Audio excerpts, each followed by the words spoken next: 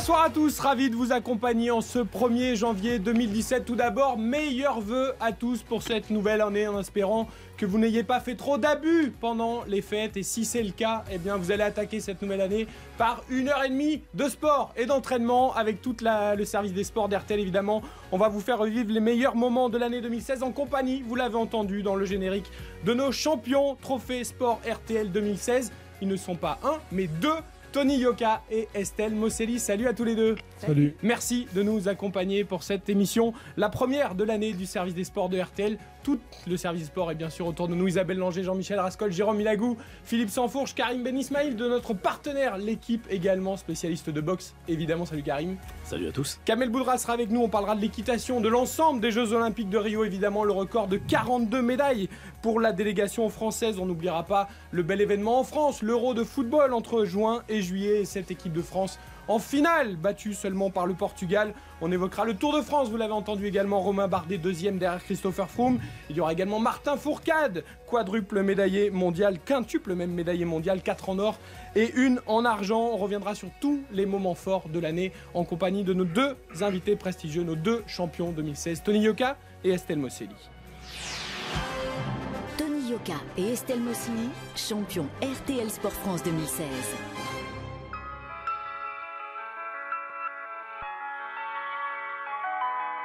Oui La médaille d'or pour Estelle Mosselli Quel cadeau d'anniversaire pour la Française 24 ans aujourd'hui Elle l'a fait, elle est championne olympique. C'était compliqué, l'adversaire était compliqué.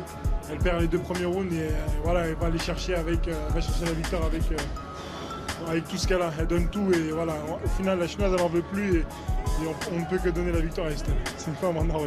gold medalist and Olympic champion, representing France. Medalha de ouro e campeã olímpica, representando a França, Estelle Mossali. Magique, je sais pas quoi dire. Je suis trop émue. J'ai tout donné. Comme quoi, les rêves sont accessibles. Je suis là. Première à écrire mon nom en tant que championne olympique en boxe féminine. Donc c'est magique. La médaille d'or pour Tony Yoka La dernière médaille de ces Jeux Olympiques est en or et elle est pour un boxeur d'exception Tony Yoka, 24 ans, champion olympique Mais oui, monsieur Yoka, vous l'avez fait C'était un rêve et, et voilà, aujourd'hui on a montré qu'il faut croire en ses rêves, il faut aller jusqu'au bout et on l'a réalisé. Très très fier, très très fier et très heureux aujourd'hui. Ah, Ce que Tony vient de faire là, vraiment, c'est énorme.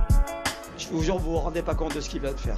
Parce que c'est la catégorie reine, c'est la catégorie où le monde entier désire cette médaille. En boxe, c'est le 100 mètres en fait, c'est la discipline reine. Il s'appelle Tony Yoka. Ils ont un couple en or. Je pouvais pas leur souhaiter mieux et la boxe ne pouvait pas rêver mieux. Mais bien sûr qu'on s'en rend compte, Tony Estelle, on est encore dedans, c'était il y a quelques mois maintenant.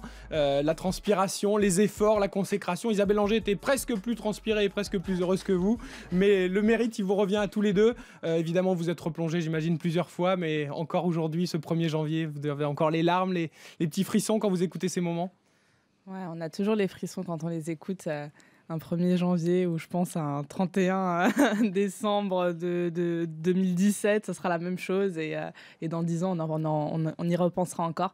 Mais c'était des très beaux moments qu'on a vécu, euh, riches en émotions et on a eu le meilleur de ce qu'on pouvait avoir. Comment ça va, Tony? Vous avez euh, des nouvelles étagères? Le Papa Noël vous a gâté pour tous les trophées qu'il y a eu en fin d'année? Euh, Vous avez réaménagé un peu la maison? C'est vrai qu'on a eu pas mal de trophées et euh, et euh, faut faire de la place parce que du coup j'ai plus de place sur la sur la vitrine. J'avais acheté une vitrine euh, à 19 ans quand, quand je suis devenu euh, non à 18 ans quand je suis devenu champion olympique de la jeunesse.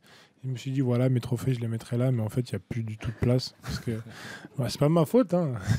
je gagne je gagne mais c'est vrai qu'on a, beaucoup de trophées on a eu beaucoup de trophées en cette fin d'année 2016 et euh, ça fait plaisir d'avoir d'avoir celui d'RTL aussi. D'habitude, on se bat pour les étagères et les commodes à chaussures. Dans les coupes, pour vous, c'est pour les trophées. Euh, euh, Karim Ben Ismail, c'est vrai qu'on s'est tellement régalé à suivre la boxe pendant ces jours. Alors, il y a eu Tony, il y a eu Estelle, il y a eu les autres aussi, on va en parler. Mais ce qu'ils ont fait tous les deux, première médaille d'or euh, pour la boxe féminine française, Tony chez les lourds, c'est c'est incroyable. C'est assez énorme. Jusque-là, il n'y avait, que- y avait que 4 champions olympiques. Et puis d'un coup, il y en a deux de plus.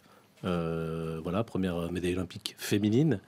Et puis la médaille olympique de Tony dans la catégorie reine. C'est surprenant, c'est exaltant. Euh, et puis ce qui est aussi surprenant, c'est qu'ils ont encore faim. N'est-ce pas, Tony? Très très fin, parce que c'est pas, c'est pas, euh, voilà, c'est pas la fin de mon parcours. Pour moi, c'est vraiment le début. Euh, je me suis, je me suis toujours fixé les objectifs, et là, en tant que champion olympique, du coup, ça m'ouvre, euh, ça m'ouvre les portes du monde professionnel, et, euh, je me dis voilà, je, je, suis en tout cas sur. sur, sur les traces de, grands noms comme, comme Ali, comme Lewis, comme Klitschko, qui ont été, qui ont été champions olympiques avant moi et qui sont venus par la suite de, très très grands boxeurs professionnels. Vous savez que vous avez réussi un exploit parce que RTL, il y a quand même des journalistes d'expérience qui en ont vécu des Olympiades, qui en ont vu des champions. Pourtant, pendant vos combats, vous avez réussi à mettre Christian Olivier KO. Il l'a dit à l'antenne. Elle me met KO, Estelle Mosselli. C'est quand même le chef des sports de notre radio. Quant à Isabelle Langer, qui a couvert je ne sais pas combien d'événements internationaux, elle s'est carrément traitée de midinette en direct à l'antenne, tellement elle était heureuse de vous voir gagner. C'est vrai, Isabelle, ce genre d'émotion, on adore ça. Bah, C'était des belles émotions tous les deux. C'est vrai que bah, euh, le vivre et d'avoir pu partager ces moments-là euh, dans, cette salle de boxe où il y avait vraiment une immense ambiance.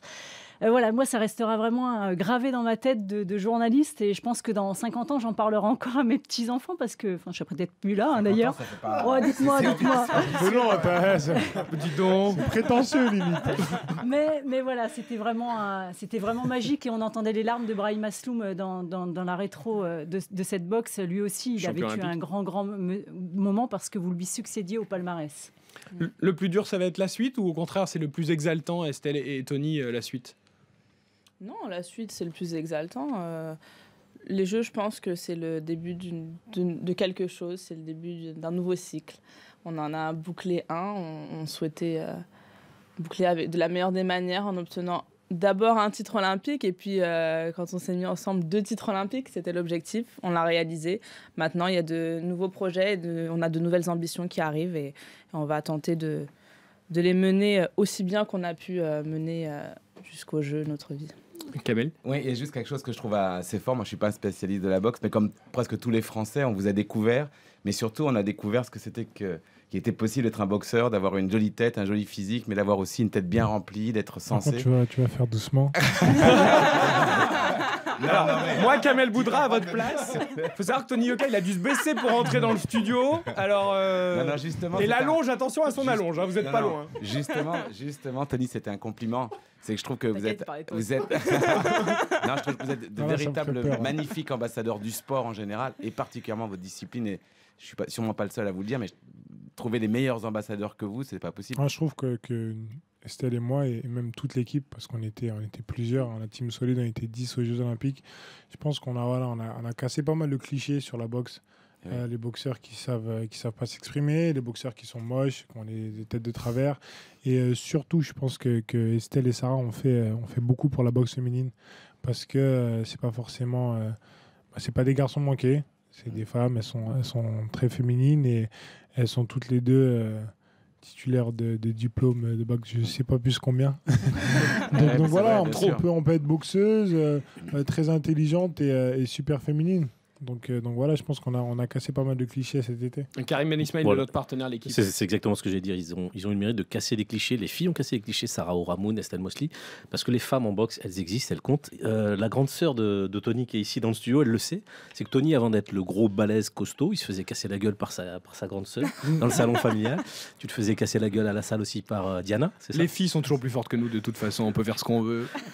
C'est mort. C'était le prix pour être le, le- le champion des balaises C'était le prix. euh, voilà, il a fallu passer par, par des étapes difficiles, hein, les championnats du monde, les Olympiques, euh, ma sœur, Diana. c'était, euh, c'était en ce temps-là, moi, voilà, ma terreur. Ton style de boxe technique, il a été basé pour fuir ta sœur. Pour, euh, Franchement, euh, voilà, on a, on a commencé, à- on a commencé les, euh, les sparring. Euh, moi, en boxe, j'aime pas prendre de coups. Je, je voulais pas prendre de coups. C'est elle frappe, elle frappe fort, Samantha. Et elle, elle, elle rentrait vraiment dedans et elle frappait très très fort. Donc, euh, donc voilà, je, je- je trouvais toujours, euh, j'essayais de trouver une méthode pour euh, bah, pour pas prendre de coups. Donc du coup, je me déplaçais plus, j'esquivais beaucoup plus et c'est ce qui m'a donné ce style un peu en finesse. Karim, on a parlé de la belle, du beau parcours de la boxe française à Rio. On va citer les autres médaillés, hein, parce qu'il y a eu six médailles au total. On a cité Sarah Ramoun, mais il y en a eu d'autres, évidemment. Moins de 60 kilos, Sofiane Oumia qui fait une finale extraordinaire. Il perd, sa fi- il perd la finale face à un Brésilien, mais il a un courage, il a un cœur énorme. Médaille d'argent, Sarah Oramoun aussi. Et ensuite en médaille de bronze, Mathieu Boderlic, moins de 81 kilos, et Souleymane Sissoko. Vraiment une très très belle équipe qui a fait plaisir à toute la France. Moi, chaque fois que, que je rencontre des gens qui sont pas du tout dans le sport, me disent on a été exalté par cette équipe parce qu'elle a transpiré, parce qu'elle a transmis sur le ring, mais aussi au micro après. Alors vous savez que dans cette émission, on va dérouler évidemment euh, toute l'actualité des sports de l'année 2016. On va essayer aussi de vous concocter euh, quelques petites surprises tout au long euh, de cette belle soirée du 1er janvier 2017 sur l'antenne de RTL. Alors Estelle, moi j'ai envie de revenir un tout petit peu à Champigny-sur-Marne il y a quelques années. J'ai lu partout évidemment que vous dormiez dans le RER, que vous aviez évidemment aussi fait un prêt pour financer vos études. Il y a quelqu'un qui voulait vous saluer aujourd'hui en ce premier jour de l'année 2017 et, saluer avec vous ce, trophée de, de, champion RTL Sport de l'année 2016. C'est Daniel Bosquet qui va nous rejoindre. Ah oui. Est-ce qu'il devrait, il devrait nous rejoindre normalement Dans ces cas-là, la, la porte s'ouvre, vous voyez? Ah ouais, les surprises commencent Ah oui, évidemment. Alors, il s'est, un peu caché parce qu'il est arrivé tout à l'heure, juste Alors, en avant vous. attendant, sachez que c'est pas dur de dormir dans le RER Jean-Michel Champigny Rascol. parce qu'il est toujours en retard. Ouais, toujours. Hein? Ouais, mais il faut, pas, il faut quand même pas rater son arrêt. Il faut quand même pas rater son arrêt. Ah, ça m'est arrivé trois fois de le rater. hein. Voilà la surprise. Voilà Daniel Bosquet.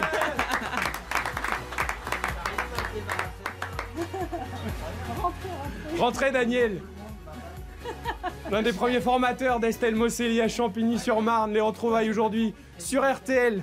On s'embrasse dans le studio d'RTL évidemment. Venez vous asseoir. Vous pouvez suivre l'émission en direct sur RTL.fr en vidéo pour saluer ses... Ah ouais, parce que vous saluez quand même le, le copain parce que... T'es tellement petit que j'arrive pas à... Tellement petit, nous dit euh, Daniel Bosquet. Installez-vous Daniel, quelques minutes. Estelle, évidemment, hein, euh, le titre c'était 2016, mais il y a eu beaucoup de travail avant. Bah oui, il y a eu beaucoup de travail avant, de longues années de travail, et puis j'ai pas commencé la boxe hier. hein. Ça remonte à il y a 12 ans. Elle Ça- était comment il y a 12 ans? Ah, ben, elle était euh, formidable, quoi, comme maintenant. Elle avait ce punch, évidemment, tout de suite, Oui, vous avez vu le elle, punch elle était, euh, disons qu'elle, elle était déjà, euh, à son âge, elle était euh, déjà presque une femme, quoi. Parce qu'elle était euh, sérieuse, motivée, euh, pas comme les jeunes qu'on voit, quoi. Elle Oula, était- tu taquais la jeunesse d'aujourd'hui en même temps. Non, C'était mieux avant. Non, c'est pas Non, ça. non, mais. Mais Non, les jeunes sont avec moi, moins c'est tout. motivés, quoi, voilà. Elle passait pas trop de temps sur les réseaux sociaux, tout ça, elle Ah s'entraînait, non, non, quoi. elle n'avait pas le temps, elle. hein. Ouais, il y a 12 ans, on n'était pas trop réseaux Ouais, sociaux. c'est pour ça, c'est pour ça. Mais c'était peut-être mieux d'ailleurs. Oui, c'est pour l'entraînement.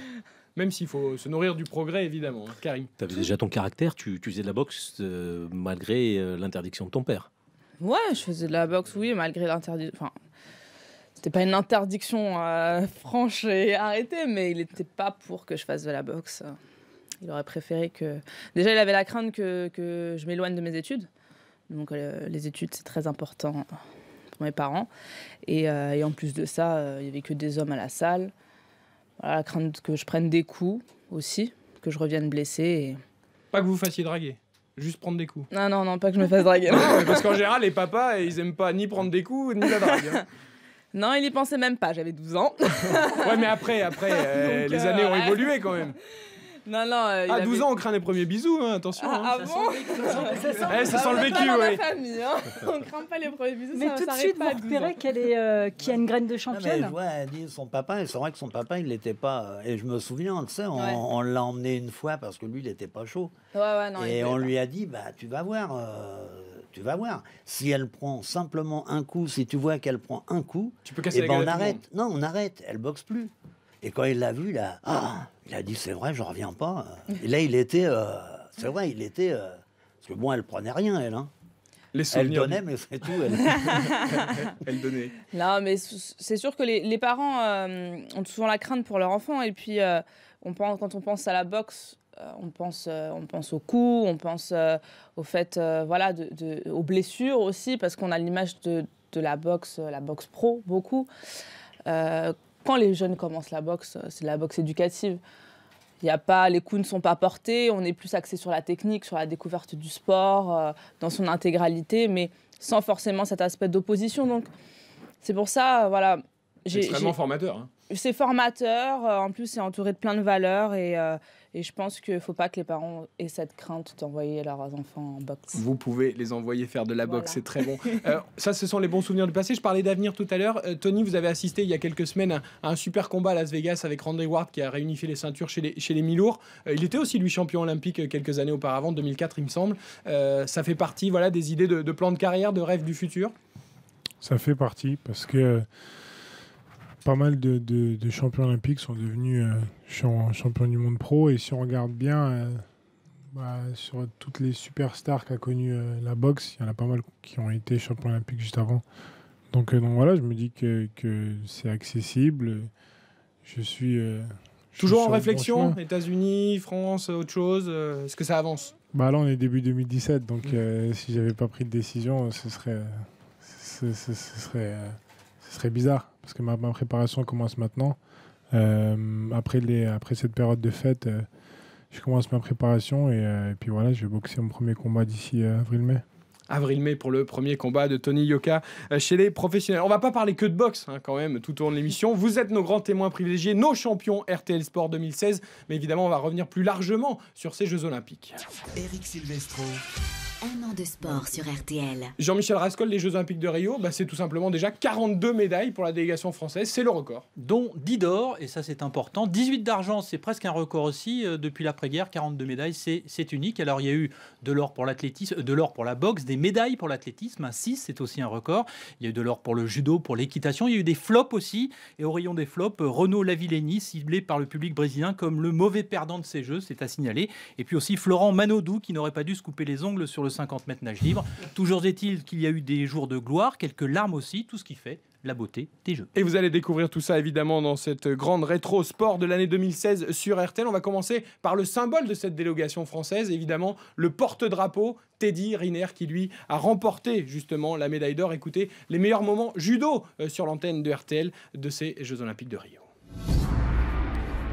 C'est un peu flippant, c'est un peu flippant de savoir qu'il a beaucoup été épié par, euh, par ses adversaires.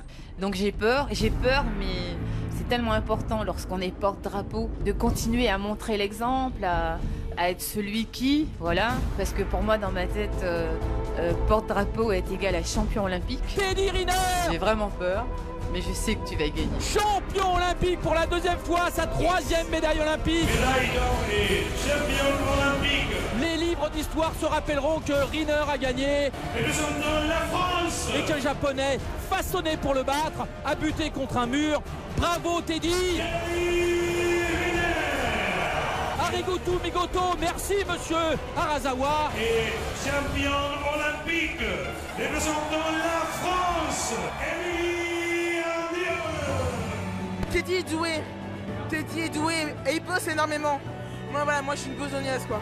C'est vraiment le travail qui, qui m'a permis d'en arriver là aujourd'hui. Des filles bien plus lourdes que vous, hein, notamment le matin.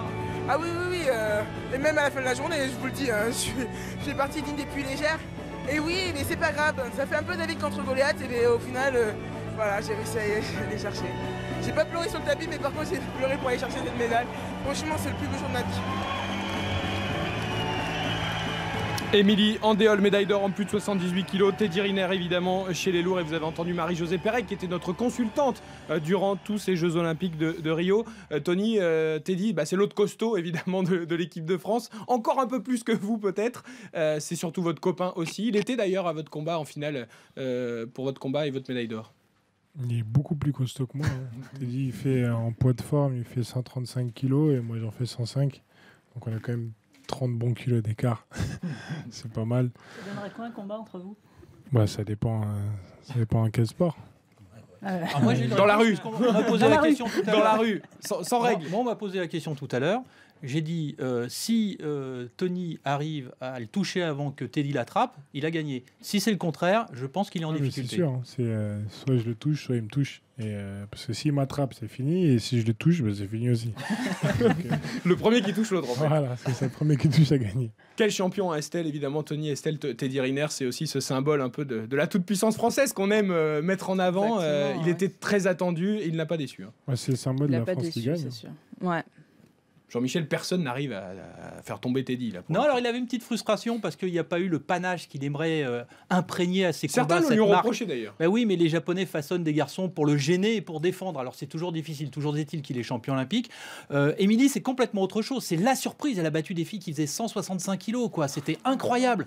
C'est un vrai couple exclusivement sur tatami. Isabelle vient d'avoir une espèce de vision. euh, Isabelle Langer vient de se dire Oh là là Ouais, La cubaine Ortiz faisait 165 kilos, la chinoise avant elle en faisaient 163. Elles ont fait, allez, à peine 100. euh, Une spontanéité, une fraîcheur incroyable chez Milan Andéol. C'est vrai que son sourire était absolument. Teddy, il a l'habitude de gagner, c'est vrai, même s'il reste toujours aussi sympa. Mais Émilie, c'était ce sourire, ce côté judo, hein, Exactement, exactement. C'est cette joie de pouvoir gagner. Et c'est une voisine à. Champigny. Ouais. On a fait fort à Champigny. École de champion. Alors, les prochains défis euh, de Teddy Riner à Jean-Michel Rascol, il y en a plein. Il y en a plein, il y en a un cette année, il y en a deux exactement. Il y a les championnats du monde qui se tiendront à Budapest, et puis l'autre championnat qu'il entend gagner, c'est Paris 2024. Et ça, ça se jouera en septembre à Lima, au Pérou. Et avec un ambassadeur pareil. Et il y a aussi un petit défi à Tokyo, non, en 2020 peut-être euh, Il y a, Oui, mais il y a des euh, grandes personnes Bien à, sûr, il y a à plein de choses. rejoindre. Il y a 2020, il y a 2024, il y a ah oui, il faut euh, oui Nomura, Nomura. Eh ben oui. extra. Vous vous rappelez d'ailleurs, j'ai assisté à cette rencontre entre les deux quelques minutes après son sa finale gagnée. Nomura, le japonais aux trois médailles d'or olympiques. Et la journée parfaite, c'est les Jeux Olympiques parfaits. Oh, No- Nomura, my next challenge. Next, next, Tokyo Yes. On a tout compris là. hein. Le nouveau challenge, et vous venez de fixer. Oui, c'est dans les tuyaux parce que bah, on le sait, Nomura, il est trois fois champion olympique et il est tout seul là. tout en haut, quoi. Waouh, ça m'a fait plaisir qu'il vienne me, me congrate. Donc voilà, je suis très très content. Voilà, Teddy Riner qui cherchera cette troisième médaille d'or olympique peut-être à Tokyo. Euh, ça semble euh, presque trop facile pour lui, mais le danger est toujours là, hein, Tony. Évidemment, il faut se remettre en question, Estelle aussi, euh, à chaque combat, à chaque compétition. C'est pas parce qu'on est le plus fort qu'un jour ou l'autre, euh, ben, on perd pas. Oui, mais après, il, en est là parce qu'il s'entraîne, parce qu'il travaille.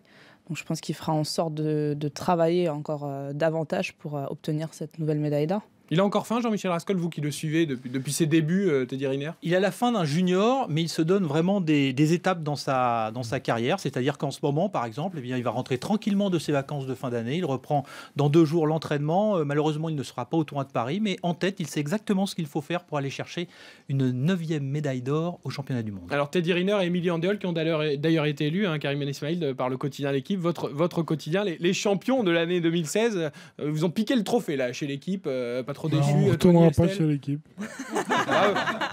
Vous restez à RTL et puis vous êtes bien. Voilà. Il y a beaucoup de couples hein, cette on année. n'est Karim pas champion de l'année 2016. Ah, C'est quand même dingue.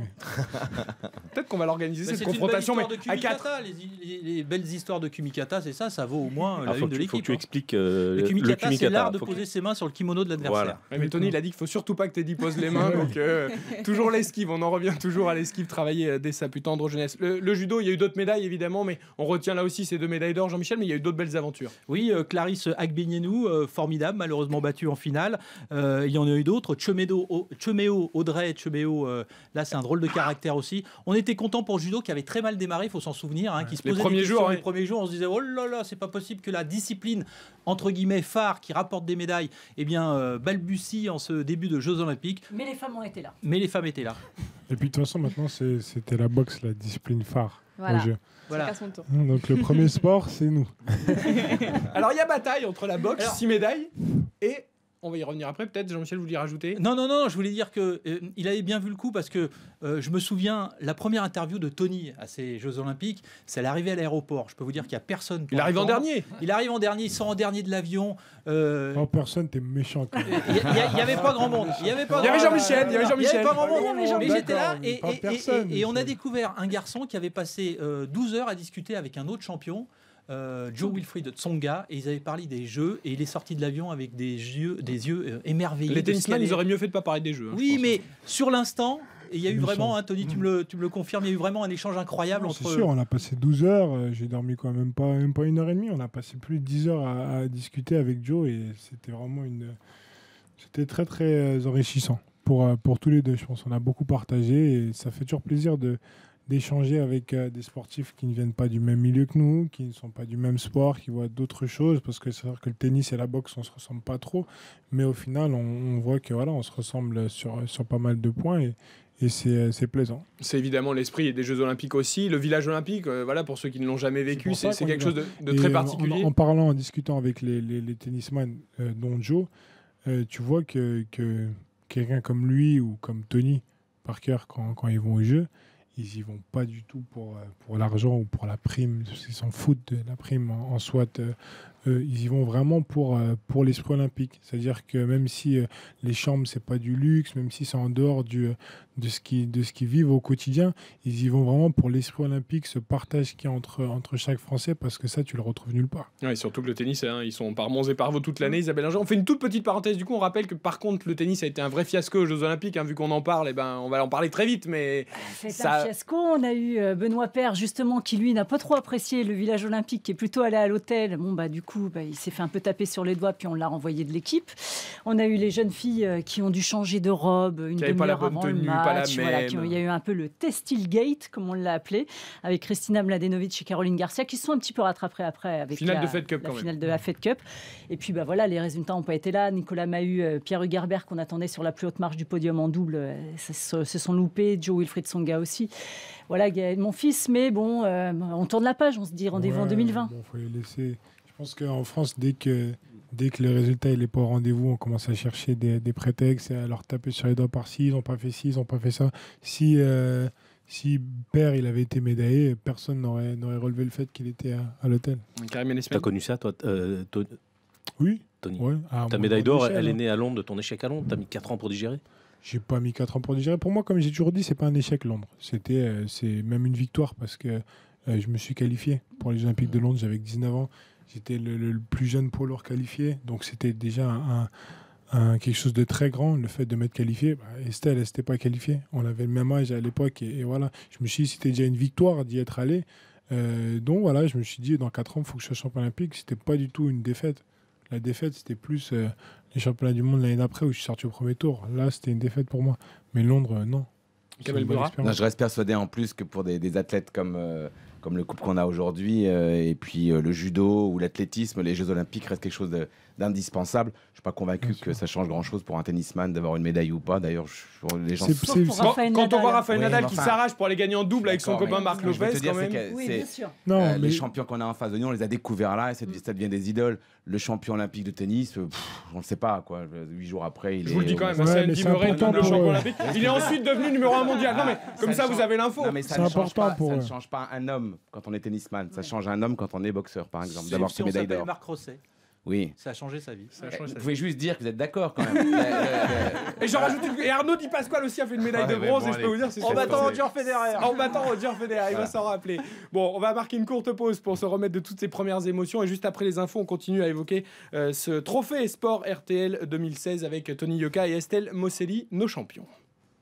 Et oui, nous sommes ensemble encore pour presque une heure pour évoquer toute la rétrosport de l'année 2016 sur la première radio de France avec nos champions 2016, Tony Yoka et Estelle Mosselli. On parlait tout à l'heure de la boxe qui était le plus grand pourvoyeur de médailles avec 6 médailles à ces JO de Rio. On va à égalité avec l'athlétisme quand même, euh, Jean-Michel Rascol, on va pas leur faire offense. Non, Oui, bah il y a eu non, aussi il y a pas de il y a- médaille d'or, nous. Ah, d'accord, d'accord. C'est vrai qu'au classement des médailles, d'ailleurs, la France est 7ème avec ses- ses- ce nombre de médailles de 42. Et c'est vrai que les médailles d'or comptent plus. C'est pour ça que si on arrive à transformer quelques médailles d'argent, il y en avait 18 en or la prochaine fois, cette fois on va bondir au classement des médailles. Moi, je veux rester copain avec Tony Yoka et Estelle Mosselli. Hein, je veux pas d'ennui. hein. Non, surtout petit Avec la détail.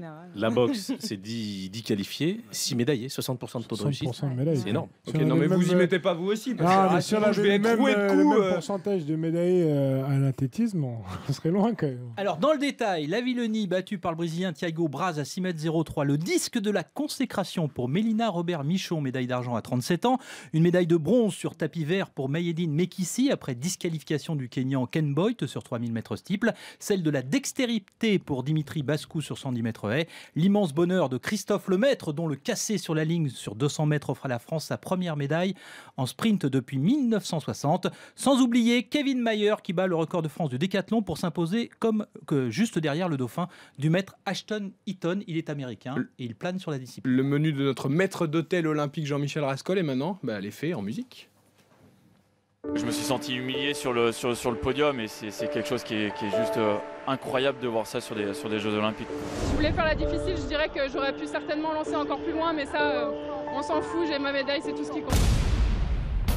Et c'est Christophe Lemers C'est Christophe, troisième. Bravo champion. Oh quelle course Il est revenu là, il est sur la piste agenouillé, les bras en l'air. Il embrasse la piste bleue du stade olympique. Christophe Lemers est troisième des Jeux Olympiques. Ce n'est jamais arrivé dans l'histoire. Formidable. Ah ça c'est un drôle de, truc, hein. C'est Quelle soirée. extraordinaire. C'était très long parce que parce que je pense que j'étais devant. Je vois que ça dure, ça dure. Je me dis putain, il y, a- il y a photo finish, ça c'est sûr, mais voilà, que, que ça dure si longtemps, euh, c'était incroyable. Puis bon, bah, quand je vois la délivrance en, en en troisième, c'est voilà, c'est la rage, c'est l'explosion de joie parce que voilà, ça, ça vient récompenser voilà, des années de travail et effacer des années de, de doute et de, de douleur. Quoi. Voilà qui est fait, c'est bien parti. Pico est bien parti. Attention à Gatine. Gatine est devant. Bolton va ouvrir. Bolton ouvre. Attention, Gatine est devant. Allez, 16. Oui, il passe. Formidable, Usain nous a fait rêver, nous a transporté dans son univers. Demain, je vais avoir la gueule de bois parce que bah, il va falloir s'habituer à l'après euh, Usain Bolt. Moi, j'ai perdu mon jouet, j'ai perdu mon Père Noël et il va falloir que je, trouve quelque chose pour le remplacer. Et c'est une très très belle conclusion et qui met un terme à sa série de, triplés olympiques euh, uniques au monde. Il va pouvoir rejoindre euh, les dieux de l'Olympe parce que je crois qu'il il a une place réservée au premier rang avec eux. Et je crois que le prochain, il n'est pas encore là. Le fait de réussir les 10 épreuves, de faire un nouveau record de France et la sixième meilleure performance de tous les temps, c'est un rêve. D'être un Olympien était un rêve euh, quand j'étais petit, maintenant je suis un Olympien et je suis euh, vice-champion olympique. Voilà, on a notamment entendu un Stéphane Caristan évoquer euh, bah, J'ai perdu mon Père Noël, mon jouet est cassé. Usain Bolt ne sera plus sur les pistes du monde. Euh, Tony Estelle, est-ce que Usain Bolt, pareil, fait partie de ces extraterrestres du sport qui, vous font rêver, qui ont fait rêver évidemment tous les spectateurs et tous les auditeurs d'RTL pendant les Jeux? Euh, Vous avez pu assister à une de ces courses, par exemple? Non, on n'a pas, on l'a vu euh, depuis notre chambre parce qu'on était en compétition et on avait des boxeurs. Même si nous on boxait pas, on suivait les autres boxeurs de l'équipe, donc on n'a pas pu y assister euh, en direct euh, dans le stade. Mais bon, Usain Bolt reste Usain Bolt. hein. Ah, Il y a eu ce cassédrin de le mettre hein, sur 200 mètres pour la médaille de bronze. On l'a dit. Estelle, euh, elle est super fan de Ouais, Usain ouais, Bolt. ouais, je- Tony, il faut, il faut faire les le. épaules, Ouais, Usain Bolt, c'est- Casser les Je- je épaules. Oui, les épaules. Oui, les reins, j'ai dit non, les reins, c'est Tony qui les casse en général, les reins des, des adversaires. Mais est-ce que vous l'avez croisé Ben non, justement, et j'ai toujours dit, euh, si je vais au jeu, la seule personne à qui je demande une photo, c'est Usain Bolt. Il, m'a- il a croisé, c'est bien gardé de me le dire, forcément. hein. C'était vraiment la star, hein, parce que toutes les autres disciplines, les gens passionnés des autres disciplines Ouais. vont dans les stades concernés.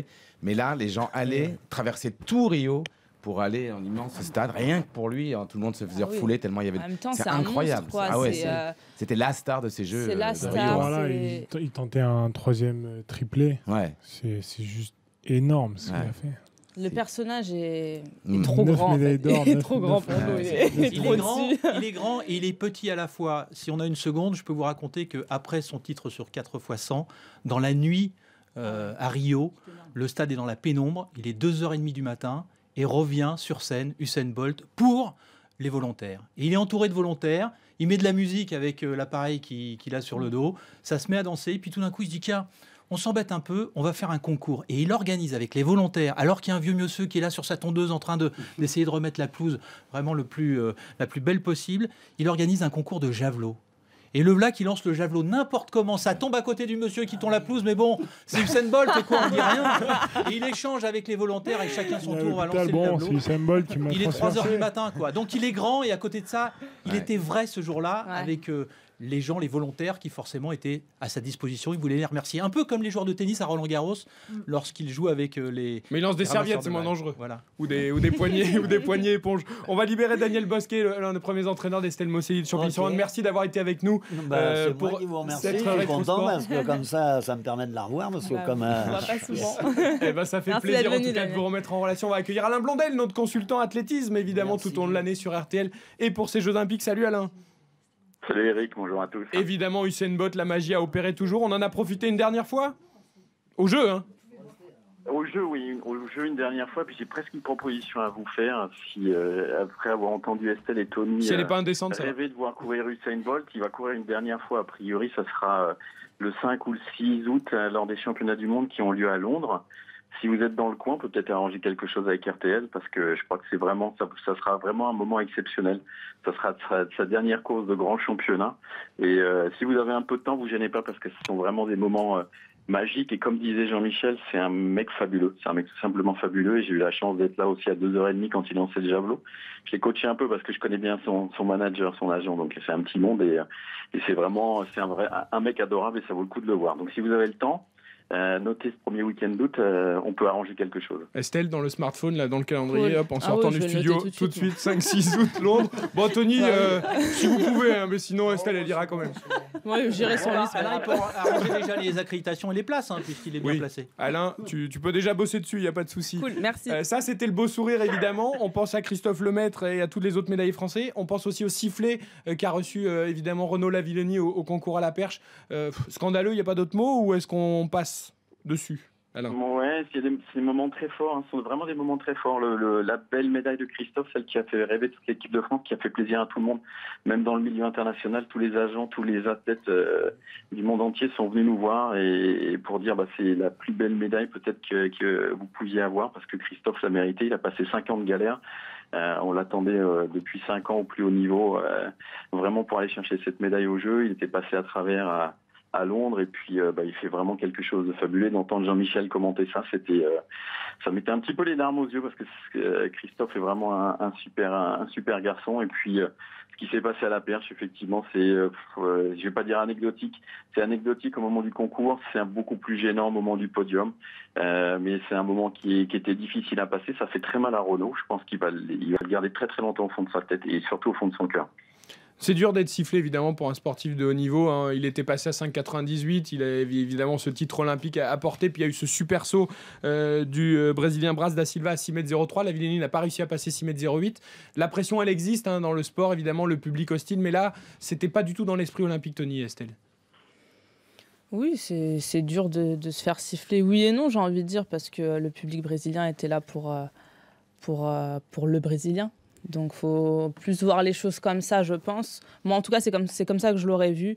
Ça, ça nous est arrivé aussi euh, chez nous. hein. Il y a Sofiane qui a boxé face à un Brésilien en finale. Bah, forcément. euh, En général, ça motive d'ailleurs. Mais comme disait Alain, peut- peut-être plus sur le podium que pendant la compétition. Euh, on aurait pu s'abstenir voilà, pour le Moi, je podium. connais pas toute l'histoire. euh, Je sais pas. ce qui- Je sais, je- Il y a un geste déplacé, pour ne pas dire que n'aurait jamais dû avoir euh, Renault.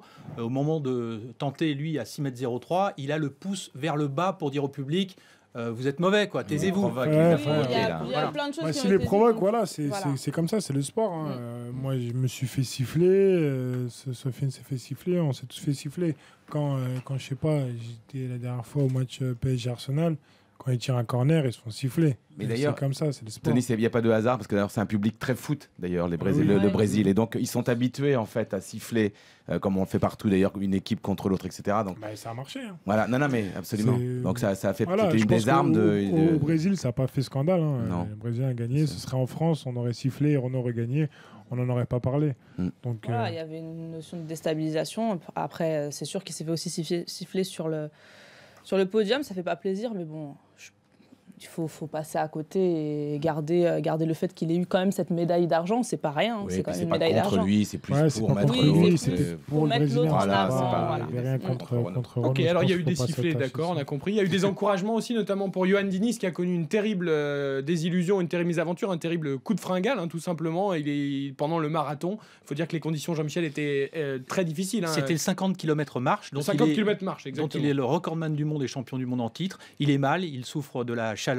Il va tomber une fois, deux fois. À chaque fois, il va se relever. Au péril de sa vie, le mot n'est pas trop fort. Il va vraiment vouloir terminer cette course. Il finira à l'hôpital pendant euh, 24 heures. Euh, et puis, euh, il, re- il retrouvera le, le soutien de l'ensemble de la famille olympique au village le lendemain. Et les mecs lui ont dit euh, Ok, t'as pas de médaille, mais ce que t'as fait, ça vaut vraiment la médaille du cœur. Écoutez le Johan Diniz justement nous expliquer cette défaillance aux 50 km marche. C'est quand même la première fois que j'étais aussi mal hein, quand même. hein. Non mais là vraiment, euh, même le sens de la route, je savais plus dans quel sens euh, je devais la prendre.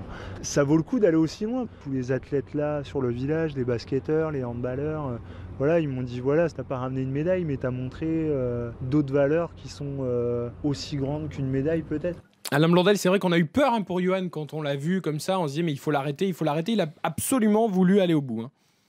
Oui, la première fois, on a eu un petit peu peur, mais on, on connaissait un peu Johan. On sait qu'il y a des moments, euh, euh, psychologiquement, il a tendance à lâcher et puis se remettre tout de suite dans le coup. Et puis d'un seul coup, on s'est aperçu que c'était beaucoup plus grave que ça, qu'il était vraiment, euh, il était vraiment en grosse difficulté, euh, non pas psychologiquement, mais physiologiquement. Et ce qu'il racontait, c'est effectivement ça, c'est qu'à un moment, bah, vous savez plus où vous êtes, tout simplement, et, et, euh, bah, il était quasiment dans le brouillard. Et c'est un peu un miracle qu'il soit arrivé. Il s'en est bien sorti. Euh, je crois que c'est un exploit qu'il a été, a été jusqu'au bout, mais c'est aussi euh, la magie des jeux. Hein, Estelle et Tony le disaient. Quand on arrive au jeu, quand on arrive dans le visa, dans le, quand on arrive dans le village aux, Jeux Olympiques, c'est, un autre monde. On redécouvre autre chose. C'est la magie. C'est, ce pourquoi on, on s'entraîne pendant euh, pendant bah, très longtemps quand euh, quand on découvre ça quand on est gamin d'un seul coup c'est la magie des jeux et, euh, et on est prêt à faire plein de choses que qu'on ferait pas en, situation normale. Oui, je voudrais qu'on boucle cette page athlétisme aussi par Kevin Mayer, évidemment, médaille d'argent au, décathlon. Vous, vous connaissez extrêmement bien la discipline, Alain. Quelle performance incroyable. À Tokyo, on, on le reverra sûrement. hein. C'est fabuleux ce qu'a fait Kevin, tout simplement parce que c'est, il, faut- se rendre compte, il bat le record de France de pratiquement 300 points, l'ancien record de France de Christian Plazia. Si on fait le, rapport en pourcentage, c'est comme si Christophe Lemaitre, lors du 200 mètres, avait battu son record personnel, son record de France de 6 dixièmes. 6 dixièmes, ça veut dire qu'il est arrivé au niveau du record du monde de- du Saint Bolt. Donc ça fait Kevin est assez exceptionnel. Il se retrouve à, à moins de 30 points du, du champion olympique Ashton Eaton. Et euh, sur 10 épreuves, ça fait à peu près l'équivalent de 12 cm en longueur. C'est-à-dire que s'il avait sauté euh, 13, 13 ou 14 cm plus loin, il aurait été champion olympique. Donc c'est faut vraiment euh, se rendre compte que... Il a l'art des comparaisons, Alain Blondel, surtout en décathlon. extraordinaire. Ah, évidemment. Ça se connaît un petit peu. Il connaît un petit peu. Les JO, ça sublime Estelle, évidemment, mais à ce point-là, c'est vrai que quand on a vu les performances accumulées de Kevin Mayer les unes après les autres, euh, être sublimé par les jeux, ça paraît logique, mais lui, il a vraiment explosé quasiment tous ses records. Ça, je pense que l'enjeu est tellement énorme qu'on se met dans des con- conditions telles que. Alors, ça peut soit être la catastrophe, Avec la pression. avec la pression, soit au contraire, on peut se transcender lors d'une d'une épreuve. Tony, vous l'avez ressenti cette pression, notamment peut-être au moment du premier combat, vous qui étiez annoncé comme favori, justement, est-ce que cette pression, elle est partie avec le premier combat, ou est-ce qu'elle n'a pas été là, ou est-ce qu'elle vous a accompagné jusqu'au bout? Il y, avait une pression, une pression que qu'on m'a mis parce que j'étais champion du monde et une pression que je me suis mis tout seul parce que j'ai dit que ouais, Karim est témoin d'ailleurs, j'ai dit que je suis venu pour, pour être champion olympique. Maintenant, euh, dans une compétition comme, euh, comme celle de la boxe, euh, moi j'ai besoin du premier combat. C'est vraiment le premier combat qui va me permettre de me libérer. J'ai besoin de, bien rentrer dans ma compétition. Et donc je suis un peu stressé avant le premier combat et après ça, non. Je suis beaucoup moins stressé sur la demi, sur la finale olympique que sur le huitième. Un petit peu stressé, tu peux. C'est peut-être Estelle qui peut balancer. Il était en sueur la, nuit, la veille, la nuit, il devait se mettre de la musique douce. Tu peux raconter un peu, non?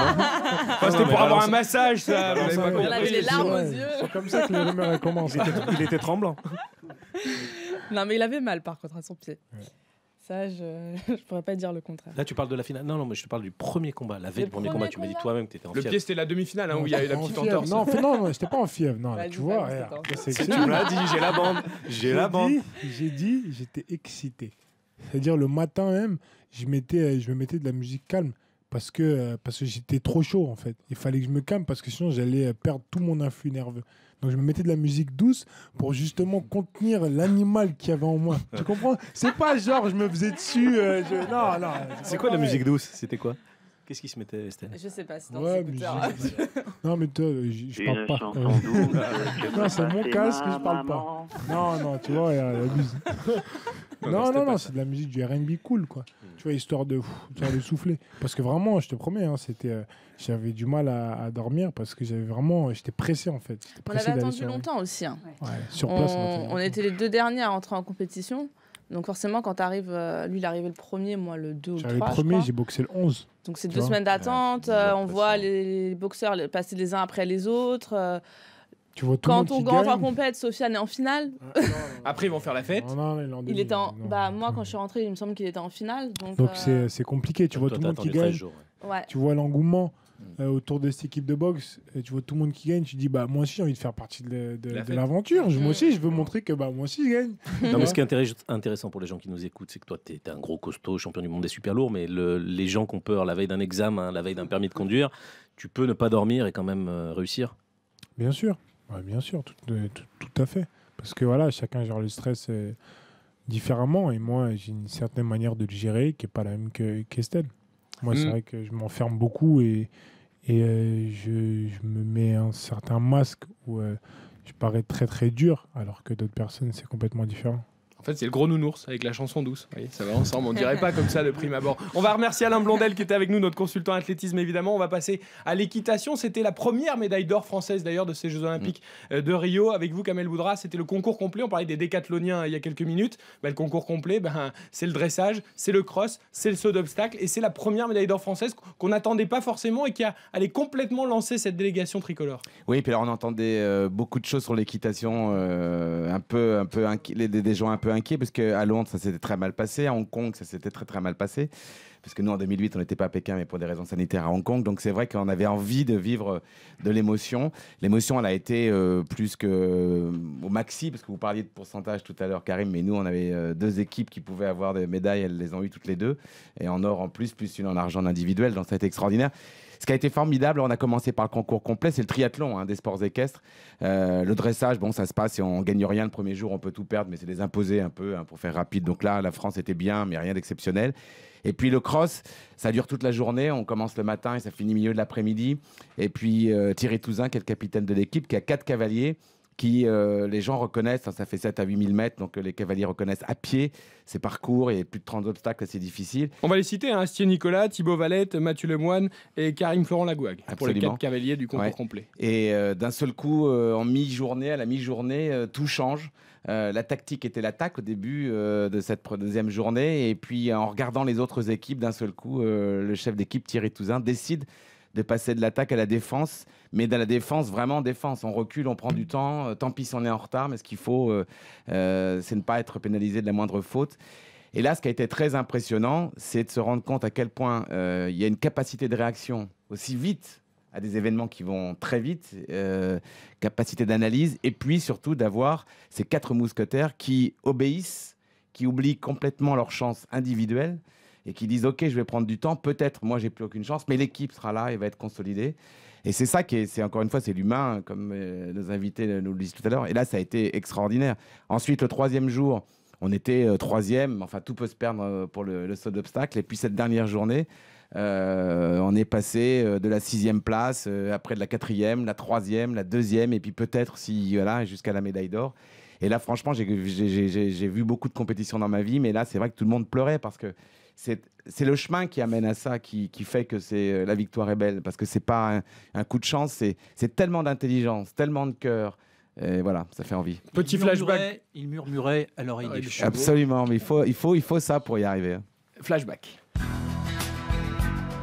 17h42 pour vous à Paris, 12h42 ici à Rio, un instantané pour vous annoncer la médaille d'or, premier titre olympique pour la délégation tricolore grâce à l'équipe de France de concours complet. On est ravis pour notre équipe puisqu'on est un, un bon groupe de copains. Toute l'équipe voulait l'or et c'est une histoire euh, à plusieurs. C'est toujours plus agréable que, que tout seul, même si euh, je suis plus que ravi de, de mon autre médaille.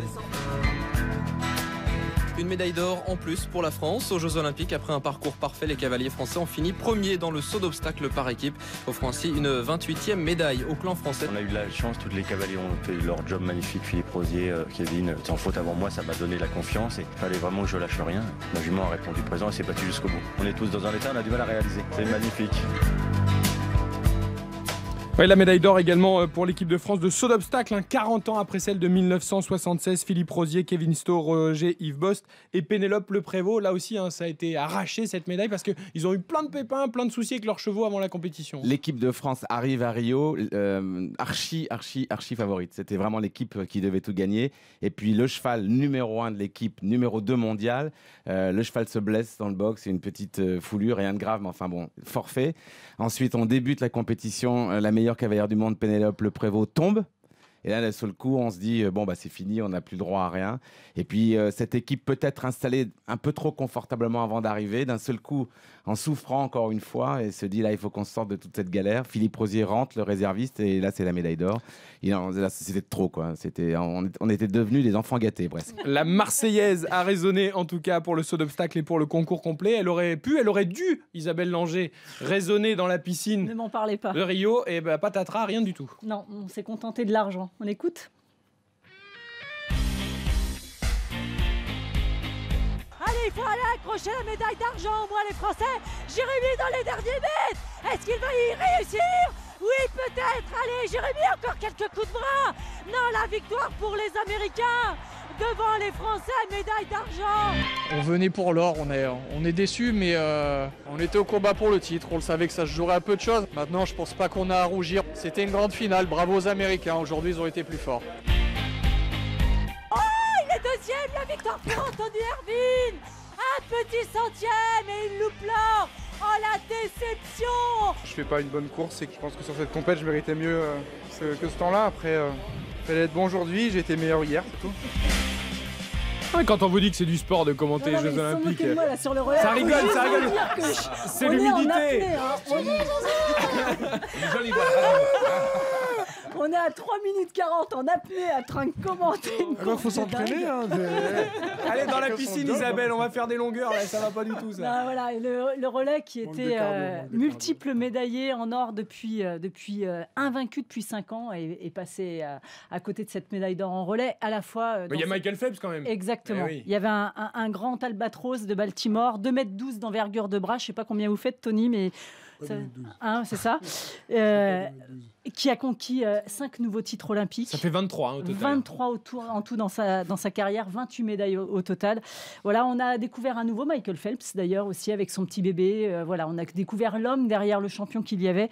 Et puis côté français, voilà, beaucoup de déceptions, cette médaille d'argent du relais et puis cette euh, Cette Je- tragique comédie sur le relais 4x2, quand Ah, on c'est- en, glisser un mot quand même. Aussi, puis cette médaille d'argent de, de Florent Manodou pour. Ah, vous savez ce oui. que c'est un centième? C'est un bout d'ongle. hein. Voilà. Mais Il c'est pour l'avait ça que dit Jean-Michel Jean-Michel. Rascol disait, il aurait Voilà. pas dû se couper les ongles. euh, Mais moi, je me Manodou. couperais pas les ongles si j'étais nageur.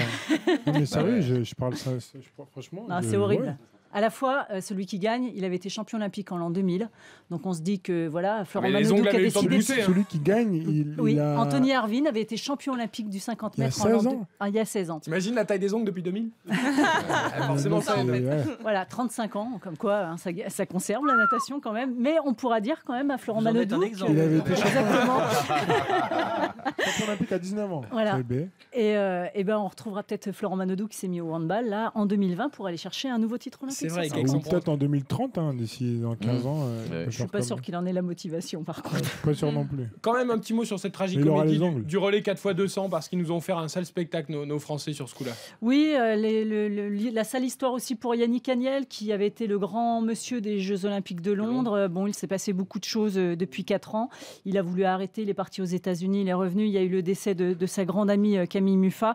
Tout ça, ça l'a un petit peu chamboulé. Il est arrivé au jeu, je crois qu'il avait vraiment pas envie de nager, euh, Il a été malade, il n'a pas participé à ce relais 4x2 qui a appris à minuit qu'il fallait recomposer ce relais avec des garçons qui savent pas nager le 200 mètres, mais plutôt le Je croyais 1500. qu'ils savaient pas nager, moi, il fait Non, non, donc c'est pas du tout la même chose. Voilà, on a eu une tragique comédie, on s'en serait bien passé, ça donne pas une très très belle image. Et puis, et puis, il y a ce coup de gueule de Camille Lacour. Sur celui du 200 crawl, là, euh, Son Yang, euh, il pisse violet.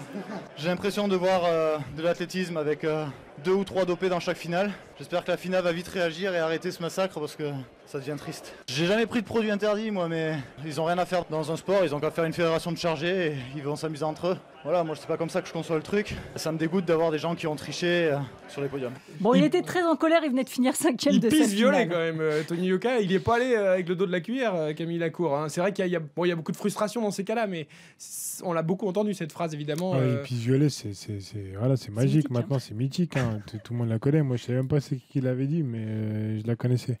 Puis violet, c'est vrai que c'est c'est dur quand même. C'est comme accusation. ouais, fédération de chargé. Bon voilà, c'est. Fédération de chargé. non, c'est marrant, c'est marrant, mais c'est marrant quand même. C'est marrant. Bah, ça fait de la bonne radio, en on va dire oui. pour nous. hein. Maintenant, ouais, c'est sûr que c'est euh, c'est compliqué. Déjà, il a pas de preuve de ce qu'il dit, mais mais c'est vrai que. Ah bah, Son Yang, il a été quand même suspendu pour dopage. hein. D'accord. A- Voilà. Moi, franchement, je trouve que. Ce que, ce que voudrait Camille, en fait, euh, la course, c'est euh, bah, une fois, une fois euh, attrapé par la patrouille, Ouais. eh ben, on ne revient pas. Moi, je- moi, moi, moi, moi, je pense que ouais, je pense qu'il faut le faire Mm. parce que euh, sinon c'est trop facile. Sinon c'est trop facile. Voilà, tu, tu te fais attraper, bon, t'es suspendu un an, deux ans, après tu reviens. Comme, Là, en euh, natation, il y en avait quand même beaucoup dans le bassin qui avaient été déjà suspendus. euh. comme euh, comment il s'appelle euh, Celui qui était champion olympique en 2004 au 100 mètres. Justine Gatlin? Ouais. Ah oui. Chercher un nageur, Isabelle. Oui, c'est pour ça, oui. Là, on est sur l'athlé, mais. Non, mais le type, il est euh, champion olympique au 100 mètres, il se fait contrôler, il est dopé, on lui enlève sa médaille, il revient, il court plus vite qu'avant. En athlé d'ailleurs C'était con de se doper alors. ouais, c'est quand même assez c'est bizarre. Le mec, il revient, il est plus vieux, mais il court plus vite. C'est la moyenne du Tour de sans- France. et sans pareil. dopage. Jean-Michel d'ailleurs. euh, Après 98, ils vont plus vite qu'avant, mais. En athlétisme, il y avait les athlètes russes euh, qui étaient les grands absents de, de ces Jeux Olympiques de Rio, hein, euh, pour l'essentiel. Oui, alors il y a eu un débat avant les Jeux de savoir si l'ensemble de la délégation russe devait ou pas participer aux Jeux Olympiques. Euh, bon, les athlètes ont été autorisés, sauf en athlétisme, où il n'y a pas eu d'athlètes russes. Mais il y a eu quand même des déclarations sur le dopage. Hein, euh, Mekissi, après le 3000 mètres. Sur les Kenyans. Euh, sur les Kenyans, parce qu'il estime que tout le monde n'est pas sur la même longueur d'onde. Voilà pour le coup de gueule aussi de Mayedine Mekissi. On termine cette page JO par les sports collectifs. Jérôme Milagou, vous les avez suivis pour la plupart euh, pendant cette Olympiade de Rio. Évidemment, on entendait beaucoup des handballeurs français qui cherchaient là aussi le triplé olympique. On les pensait invincibles, nos experts. Eh ben non, ils ont fini par tomber. On écoute les meilleurs moments. Les Bleus ne seront pas champions olympiques, c'est quasiment officiel, il reste 40 secondes. Siemens ça marque, c'est fini, voilà Les Danois font vaciller les Français. Elle vient tellement de loin cette médaille. Il faut qu'on la savoure, il faut qu'on en profite. Et il faut qu'on se dise que euh, ça y est, euh, on y est, on a écrit notre ligne. Ah, les filles nous ont ramené une belle médaille d'argent et ça, c'était un vrai exploit, Oh, Jérôme. d'ailleurs, hein. le courage des filles, euh, quatrième les basketteuses sans Céline Dumer qui ont eu énormément de galères et euh, qui finalement bah, terminent au pied du podium. Euh, les filles du hand euh, qui n'avaient jamais euh, fait de podium, elles étaient, elles étaient j- toujours euh, placées, jamais gagnantes, euh, jamais médaillées. Et là, euh, c'est fait, porté par une Alexandra Lacrabert euh, d'au Brasil, puisque vous savez qu'elle a une maison là-bas. Elle, a survolé ce, ce tournoi olympique. Malheureusement, elles étaient un petit peu euh, fatiguées en, en finale. Elle s'est blessée, Alexandra Lacrabert. Et donc, euh, elle termine médaille d'argent, mais une belle médaille euh, d'argent. Alors que les garçons, au basket et au hand, euh, c'était une déception. euh, Alors pas- 28-26 contre le Danemark en finale pour les handballeurs. pour les handballeurs, fatigués de leur demi-finale, euh, arrachés face à l'Allemagne. Et euh, au final, donc, euh, ce triplé historique qui euh, s'évapore euh, dans la Carioca Arena de, de- de Rio. Première défaite quand même en finale dans une grande compétition quand même pour les handballeurs. Depuis 93, 10 finales. Et la 11e était de trop. Ça reste une médaille d'argent. Et euh, le basket, évidemment, avec la fin de la génération Parker. Est-ce que les experts vont rebondir, euh, Tony Parce que c'est vrai qu'ils nous ont tellement habitués à gagner? Il y avait une fin de série là, même si c'était une finale, vous faites bien de le souligner. Euh, ils vont se remettre avec Didier Dinard et Guillaume Gilles maintenant aux manettes. Euh, Claude Nesta après un peu de, de recul? Ouais, je pense que ce sera plus les experts maintenant. C'est une nouvelle génération qui arrive. C'est comme au basket. hein. C'est une nouvelle génération. C'est la fin de la génération par cœur. Et euh, on en parlait juste à l'instant. C'est quand même dingue de voir que deux médailles d'argent, c'est les mêmes, mais au final, elles n'ont pas le même goût parce que au le, hand féminin, c'est la consécration. Ça ne vaut pas une médaille d'or, mais presque. Elles sont, super heureuses. Et pour le hand masculin, par contre, ça reste une déception parce qu'on en attendait plus de, de handballeurs. Mais bon, c'est comme ça. hein. Les Français, on est très. On est très très très exigeant avec eux. Franchement, une finir sur une médaille d'argent, c'est quand même c'est quand même magnifique c'est après deux médailles d'or. Donc voilà, je pense que le hand français non, et ils vont rebondir très très rebondir. C'est quand même culotté de dire ça parce qu'ils sont vice-champions olympiques. Et il y, a- y y les championnats du monde en. France dans quelques jours. hein, euh. non, mais rebondir, Ouais. franchement, le mot il est gros quand même. Non, mais rebondir Ouais, avec un nouveau titre, parce que c'est vrai, comme vous l'avez dit, ils nous ont tellement habitués à gagner qu'on on ne voit que la victoire chez eux. Ouais, c'est- franchement, vice-champion olympique, olympique, je Ah, vois, je suis vois pas comment. c'est pas un titre. Non, c'est pas un titre. C'est vrai que c'est pas un titre. Ah, non. C'est une non, place. c'est pas un titre. C'est une place. C'est une médaille. C'est une place. Et la relève est là, puisque le même jour de, de cette finale olympique, euh, les moins de 18 ans du hand étaient sacrés champions d'Europe. Donc, Ouais. euh, non, voilà, mais non, mais je de- pense que le, handball, ils ont, euh, ils ont, ils ont vraiment un, vivier- réservoir. un vivier, un sacré un gros réservoir en France. Et, euh, et voilà, faut attendre, faut attendre de, de très très belles médailles encore. Pas de médaille en revanche pour les basketteurs, vous l'avez dit, battu en quart de finale, un corrigé même par l'ennemi juré espagnol. Humilié. 92, 67. 67, ça fait très mal. hein. C'était le jour 12 des Jeux Olympiques, le jour de la loose. Ouais, et évidemment, Ah, le il est au fort. revoir de Tony Parker Et qui laisse 14, beaucoup d'émotions. L'immense, le plus grand joueur de basket français. C'est le sport, c'est le sport. Moi j'ai vécu beaucoup de choses dans, dans ma carrière. Pour l'instant on va, on va digérer, euh, digérer la défaite. Forcément, il fallait qu'il s'arrête un jour. hein. Maintenant, j'espère que vous avez euh, bien profité de lui parce que, parce que malheureusement, il sera plus en équipe de France. Les champions choisissent rarement leur fin. En équipe de France, Tony Parker rejoint donc les Zidane, les Manodou, les Pérec au panthéon de ceux qui n'auront pas eu la fin qu'aurait mérité leur carrière. On avait l'impression qu'ils sont pas rentrés dans, la compétition. Voilà, il n'y avait pas d'énergie, il manquait quelque chose. Même Tony, hein, en général, euh, il arrive à, faire changer les choses par sa manière de bouger, de parler. Et, en fait, il a manqué ça. Alors après, euh, on peut penser que Tony euh, avait l'esprit ailleurs, puisqu'il est papa depuis quelques jours. Voilà, donc je pense qu'il a un peu raté sa sortie. Mais moi, ce que j'ai envie de dire, c'est que Il a été euh, fabuleux pendant, pendant des années pour cette équipe de France et euh, c'est ce que j'ai envie de, de garder dans, dans ma mémoire. On gardera aussi nous les JO de Marie-Jo évidemment, Marie-Josée Pérec, notre consultante pour tous ces Jeux Olympiques. Tony Parker, c'est voilà, c'est un des emblèmes du sport français évidemment. Estelle, euh, ça nous fait de la peine un peu qu'il quitte cette équipe de France. Euh, il a failli être porte-drapeau. Il y avait combat avec Teddy Riner Ouais, évidemment. Il l'aurait mérité aussi. Ouais, je pense qu'il l'aurait mérité aussi. Et puis c'est vrai que c'était la fin de lui. On savait que c'était ses derniers jeux et Teddy va refaire les jeux. Donc euh, je pense que Teddy était un très bon porte-drapeau. Ça aurait été Ouais, bien aurait- aussi que, bien aussi, que ce soit Tony. Ouais, parce que, parce Parce que que voilà, du coup, parce il que est, c'est la il est fin. plus là. Il Et pourra il plus a- le faire. Je pense qu'il a, a donné tellement pour, euh, pour l'équipe de France que, que ça aurait été une belle récompense parce que, parce que comme on le disait tout à l'heure, il n'a pas forcément besoin. Il a Mm. sa grosse carrière en NBA, il aurait pu rester là-bas, mais euh, C'est une des plus belles images de générosité du sport français, Vraiment, enfin, du hein, sport tout court, est archi gâté par la vie et par son sport individuel. Exactement, mais il revient quand autant, même ah ouais, chez lui pour donner aux je jeunes et, aurait été, et à son club. été- ça aurait été- Ouais, ça aurait c'est pas été euh, une médaille olympique, mais je pense que ça aurait été, ça aurait été Un bel hommage pour à sa carrière et sa générosité. En tout cas, c'est la première fois. en 2020. C'est la première fois que les athlètes. ah, pourquoi pas C'est la première fois que les athlètes désignaient le porte-drapeau. Ouais. Cette fois, ce sont les athlètes, dont euh, ceux qui sont avec j'ai nous. voté qui ont- Teddy, en voilà.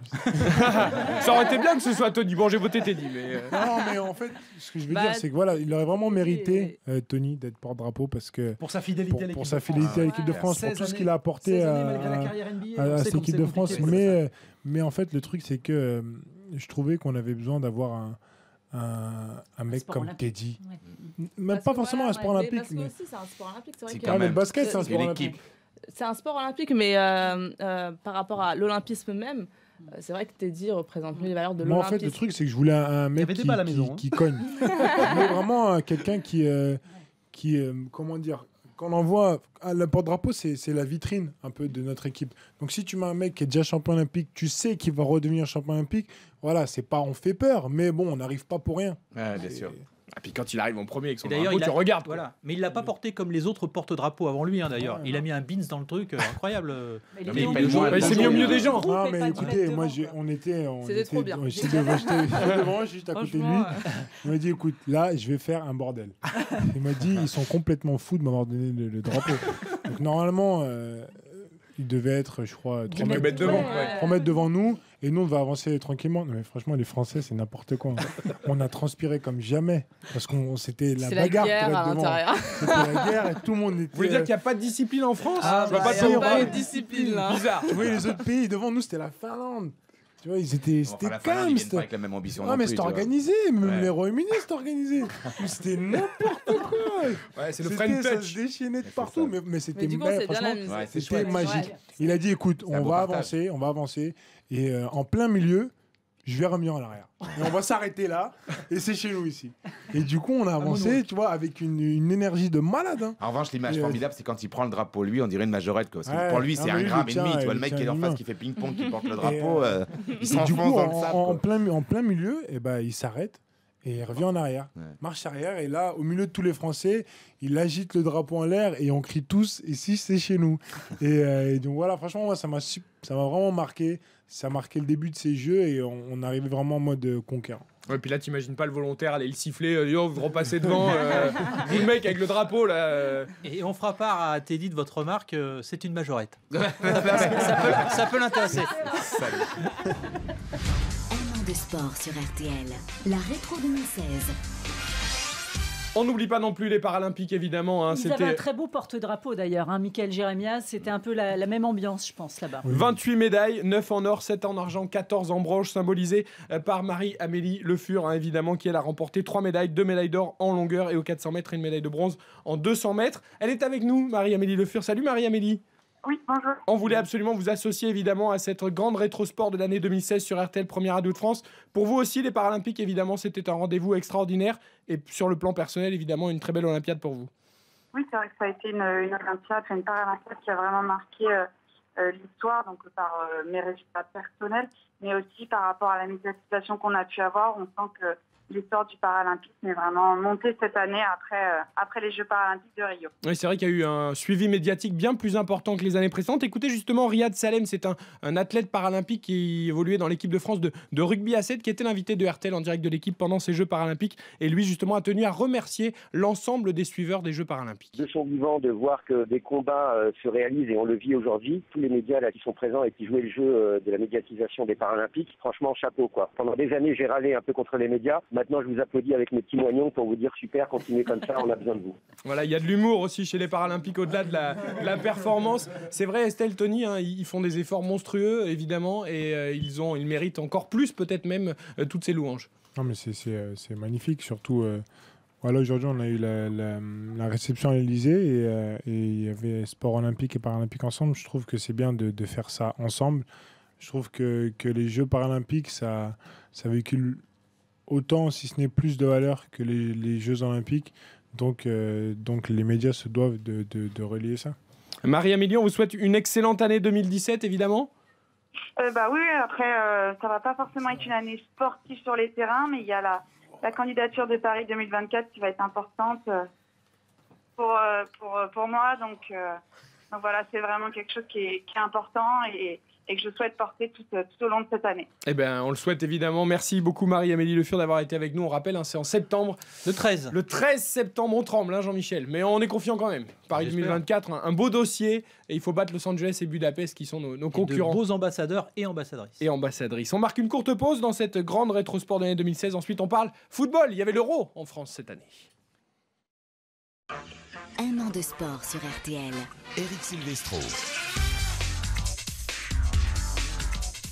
La grande rétrosport de la première radio de France l'année 2016. On vous souhaite une nouvelle fois tous nos voeux pour cette année 2017 qui débute. Nous sommes en compagnie de Tony Yoka et Estelle Mossellino, champion RTL 2016. Après les Jeux Olympiques, on ouvre évidemment notre page football avec notamment Jérôme Milagou, Philippe Sansfourche et Bertrand Latour. Philippe Sansfourche, l'événement de l'année 2016 en football, c'était euh, évidemment l'Euro en France du 10 juin au 10 juillet. Il y avait beaucoup d'inquiétudes, Philippe, avant la compétition, de par le contexte évidemment international avec notamment le risque Finalement, on a eu, et on s'en félicite, une très belle fête populaire. Oui, c'était une vraie crainte parce que euh, l'événement, on l'attendait depuis longtemps et puis euh, c'était dans une ambiance euh, qu'on a évidemment connue, qu'on connaît encore de psychose et de, et de crainte par rapport à, ce qui pouvait se produire. La question s'est même posée jusqu'à quelques semaines avant le début de la compétition. Est-ce qu'il fallait encore que se tienne l'euro en France? Et puis bah, finalement, vous l'avez dit, les supporters de, de toute l'Europe, du monde entier même, ont convergé vers la France. Il y a eu très peu d'annulations de billets et ça a été une fête populaire, peut-être au-delà de ce qu'on pouvait espérer, avec des peuples qui se sont euh, mêlés, qui ont fait la fête. Alors, on pense évidemment euh, aux peuples euh, du nord de l'Europe qui ont beaucoup fait la fête. On pense aux Irlandais, on pense aux, aux Aux Gallois. Aux deux Irlandais. Il y avait l'Irlande du Nord, aux Et Islandais. Et, évidemment, j'y viens, les Islandais, parce que les Islandais, ça a été en plus doublé d'une vraie performance sportive avec ce quart de finale pour le petit pousset de, de la compétition. On va réécouter tout ça en images sonores. On va se replonger dans cet euro des, des petites nations qui ont brillé avec leurs supporters. L'Islande battue 5 buts à 2 par la France quand même après, mais évidemment tout le monde écarte les bras, ça va vous rappeler des souvenirs évidemment. Ah, le On va- clapping. Eh oui, le Allez. clapping.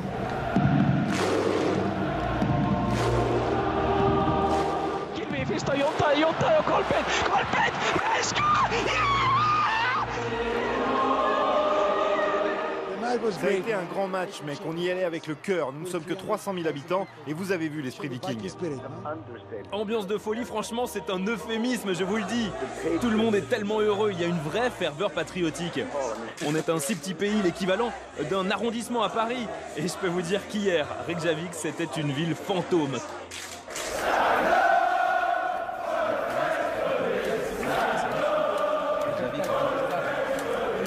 Ça On repart avec les Irlandais. Stand up for the French police. C'était les supporters irlandais, notamment à Bordeaux, coincés sous un pont parce qu'il pleuvait et qui chantaient devant les, les barrages policiers. On se souvient aussi que pour la police, au-delà euh, de, évidemment de, de- de tout ce qui se passe avec euh, les risques d'attentats, il y avait eu des débuts très compliqués et même terribles à Marseille avec euh, les hooligans euh, russes qui avaient débarqué et avec des très violents affrontements avec, euh, avec les Anglais. Donc ça a été euh, compliqué, long, difficile pour euh, les forces de police, mais il y a eu des moments comme ça assez euh, euphorisants avec euh, les supporters. Tony, Estelle, vous êtes foot Euh, Il y a foot à la maison ou pas? Moi, je ne suis pas foot. Ah, Tony? Moi, je suis foot, je suis très foot. Ça va Vous avez le droit de regarder les matchs quand même encore ouais. Pour l'instant, pour l'instant, attention. Qui gagne la télécommande? La télécommande, y Non, a pas quand il y a un match, il y a un match. euh, Je suis désolé, quand c'est foot, c'est foot. Vous Ouais, non, supportez- non, sinon, je regarde pas. euh, regarde Au-delà de l'équipe de France, il y a une équipe euh, en particulier que vous Je soutenez regarde je- le Real Madrid. Ah, le Real Ouais, Madrid. Je deviens fou pour le Real Madrid. Le Real Madrid qui a Zidane, gagné la Ligue, bon qui a gagné la Ligue des Champions cette année. hein. Pour Ouais. Zidane ou Ronaldo? Les deux. Les deux. Et en Non, France, il y a une équipe. d'abord, et puis maintenant, il est, maintenant qu'il est aux commandes, j'étais super, super heureux. J'ai dit qu'avec lui, on allait gagner la Champions League et on l'a gagné. C'est vrai, c'est vrai. On Et cette l'entendra. année, on va gagner la Liga. On l'entendra tout à l'heure, Zinedine Zidane. Et en France, non, il n'y a pas une petite euh, préférence Bah, pour une équipe? si, forcément, euh, le PSG. parce ont leur maillot, c'est- hein. C'est la seule, euh, la seule équipe qui, euh, qui, voilà, qui, qui, qui, qui peut faire quelque chose. En Ligue des euh, Champions En Ligue des Champions, parce qu'on est de la ville de Paris. Enfin, je suis de la ville de Paris et parce que j'ai euh, certains amis à moi qui jouent, tout simplement. Donc, je supporte. Plutôt PSG, d'accord. Bon. Et l'équipe de France, évidemment, vous a fait vibrer Oui, pendant l'Euro. Forcément, forcément, ça fait plaisir de de voir que, que voilà ils sont arrivés loin, mais surtout c'est l'engouement qu'il y a eu autour de cette équipe. Je pense que pendant l'Euro, euh, c'est dingue, mais rien n'est plus fédérateur que le football. C'est un truc de malade. C'est le sport C'est universel. c'est- vraiment un, un truc de fou. hein. Le, le foot, ça rassemble tout le monde. Euh, tous les pays, tous les points de vue politiques. Et quand on parle foot, dès que c'est l'équipe de France de foot qui arrive euh, loin dans une compète, eh ben, tout le monde est d'accord. Et là, c'est vrai qu'elle a atteint la finale, hein, Philippe Sanfonche, évidemment. Il y a une vraie cote d'amour autour de cette équipe, autour d'Antoine Griezmann notamment. Ouais, les Bleus ont pas remporté cet euro, mais ils ont regagné le, le cœur des Français, effectivement. Et c'est vrai qu'on a senti poindre ce que bah, ceux qui ont connu 98 ont pu connaître. On était aux portes de, de ça, avec des, des joueurs qui ont émergé. Alors, il n'y avait pas le Zidane, mais il y en a eu plusieurs. Il y a Payet eu en début de Payet, compétition? Il y a eu Griezmann. Je vous laisse écouter, vous allez vous remettre tout de suite dans l'ambiance. C'est sans aucun doute l'homme de ce premier match et les larmes de Dimitri Payet vont rester l'une des images fortes de cette Euro. Si on m'avait dit il y, a, il y a un an de cela que je serais ici ce soir et il y aurait que ce scénario, je, je pense que je vous aurais dit vous êtes malade. C'est parti pour cette demi-finale Allemagne-France. C'est le moment, les Bleus, d'écrire l'histoire, d'écrire votre phrase.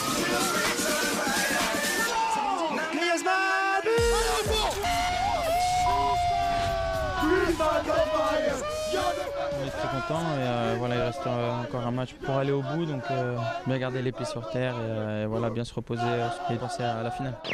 La frappe Le but Pour les Portugais. Oh là là là là là là là Son dernier.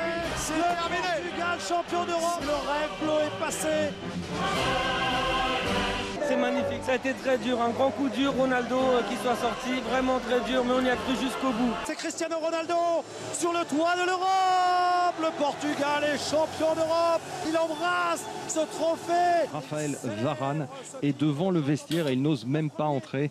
Le vestiaire, ce soir, il est dévasté. Une énorme déception, c'est cruel. Il manque l'essentiel.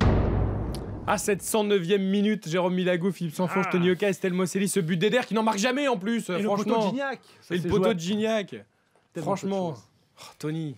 Ça s'est joué à vraiment, vraiment peu de Ouais. choses. hein. Cette finale maintenant, euh, euh, je critique pas. hein. Mais, euh, mais c'est vrai que les, les- les Portugais, se voit, ils avaient, euh, ils avaient rien à perdre en fait dans cette finale. Et, euh, et les Français, je pense que. Euh, bah, des fois, tu as des jours sans. Je pense que si on rejoue le match euh, 100 fois, ils gagnent 99 fois. Mais là, c'était le jour où, euh, voilà, où le Portugal a gagné. et Dommage pour nous. Bertrand? Après, il faut quand même rappeler que le Portugal perd Cristiano Ronaldo euh, très rapidement dans le match, qui est leur meilleur élément et de loin. Donc, ils n'avaient pas non plus été favorisés euh, Ah, mais je dès pense le début que de la justement, rencontre. à partir de ce moment-là, tu Le match change peut-être aussi, ouais. Quand Ouais. tu vois euh, le PSG, quand ils sont allés jouer à Chelsea, que Zlatan prend un carton, on se dit c'est mort. Alors qu'au final, il, il passe. Tu vois Au bout d'un moment, quand, tu perds Cristiano Ronaldo, tu es en, finale contre la France. Ils sont pas favoris. En France, ils sont encore moins favoris. Ils perdent Cristiano, on se dit c'est mort. Je sais pas, il y a peut-être un truc qui s'est passé. le entre remplace eux. par Eder en plus. Ils avaient perdu chez eux contre la Grèce en 2004 hein, en finale. Euh, ouais, là, ils ont refait le coup à l'envers. Ils ont fait le coup à l'envers. Et, c'est et. Ronaldo, d'ailleurs, pour ceux, il y en a, il y a des gens qui aiment pas trop Ronaldo, qui le trouvent trop Moi, superficiel. L'attitude qu'il a eue ce jour-là sur Ah, le, c'est il était leader, comme un C'est fou. un leader, Ronaldo. C'est c'est un mec qui, qui, a- qui donne énormément pour, euh, pour son. Je pense qu'il il tenait vraiment à gagner quelque chose avec son pays. Et c'est un très beau cadeau qu'il a fait. Est-ce qu'il souffre d'une image d'ailleurs fausse, Ronaldo? Est-ce que Moi, ça, va le réhabiliter un petit peu aussi? Parce que franchement, bon, il m'a bluffé. Il était entraîneur adjoint, il sautait partout, il était comme un fou sur le banc. C'est le seul titre qui lui manquait hein, euh, à Cristiano Ronaldo, un titre avec sa sélection. Il a longtemps cru d'ailleurs qu'il n'y arriverait pas. Euh, et, Mais il a euh, insisté. Oui, et c'est d'ailleurs assez réjouissant euh, de, de- de lire, même quelques semaines après, ce qu'il a dit sur cette victoire. C'est-à-dire que c'est plus fort qu'une Ligue des Champions. C'est-à-dire que ce qu'il fait avec son équipe nationale voilà, supplante, Supplante ce qu'il a pu faire avec le Real Madrid, notamment. C'est beau parce que c'est vrai qu'il y a des générations aujourd'hui aussi qui vivent au travers de la Ligue des Champions. C'est là où il y a l'argent, c'est là où il y a la médiatisation. C'est ils ont Ouais, mais là, grandi avec ça, les jeunes c'est joueurs. C'est pour le pays, c'est pour ta patrie. C'est, c'est, je pense que c'est, moi pour moi, hein, je pense que pour lui, c'est le plus beau trophée qu'il ait gagné. Il y a eu d'autres adieux d'ailleurs de- d'un grand champion, c'est Zlatan Ibrahimovic qui a quitté la scène avec la Suède durant cet Euro, Philippe, et qui a quitté la Ligue 1 aussi en 2016. Oui, après avoir euh, marqué la, saison, après avoir marqué les, quatre dernières saisons de, son empreinte, le Paris Saint-Germain qui a encore tout raflé en France la, saison Quadruplé. Avec le quadruplé et, et surtout ce, ce championnat avec 15 records battus ou égalés. Jamais une équipe depuis la création du championnat de France n'a autant euh, dominé ses, ses concurrents. 31 points d'avance au final pour le Paris Saint-Germain sur le dauphin, l'Olympique euh, lyonnais. Et évidemment, l'homme qui symbolise tout ça avec ses 156 buts en 4 saisons et qui a fait ses adieux euh, à la Ligue 1 et au, et au championnat de France, eh bien, c'est qui, c'est qui, c'est qui? C'est qui? C'est La force C'est ça la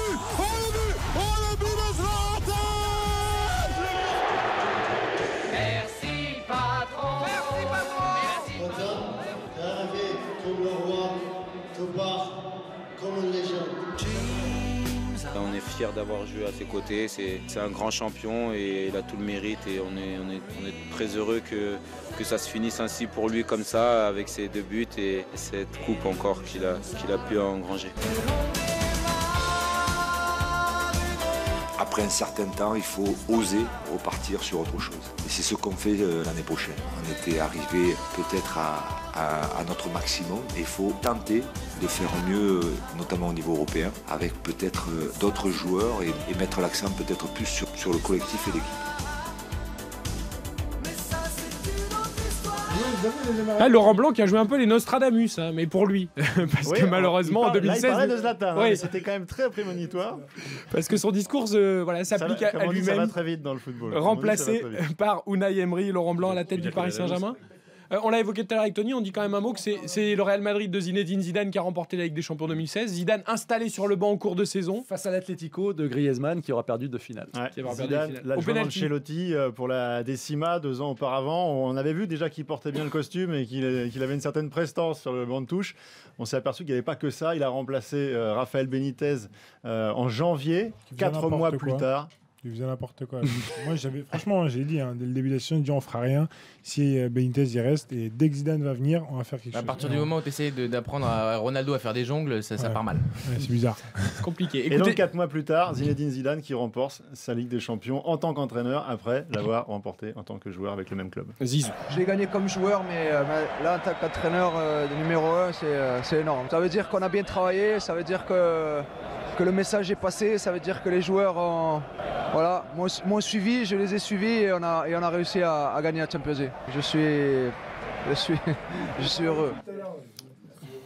Zinedine Zidane, heureux donc de cette victoire en Ligue des Champions. Cette année qu'il la gagne euh, en 2017, Tony? Ah là, c'est compliqué parce que la gagner deux fois de suite, c'est, euh, c'est chaud. Tu vois, c'est jamais fait, hein, je crois.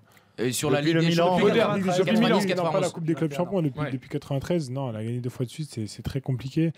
Donc, euh, franchement, euh, ouais, moi je suis pour le Real. hein. Maintenant, euh, Non. Mais maintenant, bah, le Barça. euh, Peut-être que le PSG sans Zlatan euh, arrivera ah, peut-être un peu plus loin. PSG cette année avec Emery, euh, c'est compliqué. hein.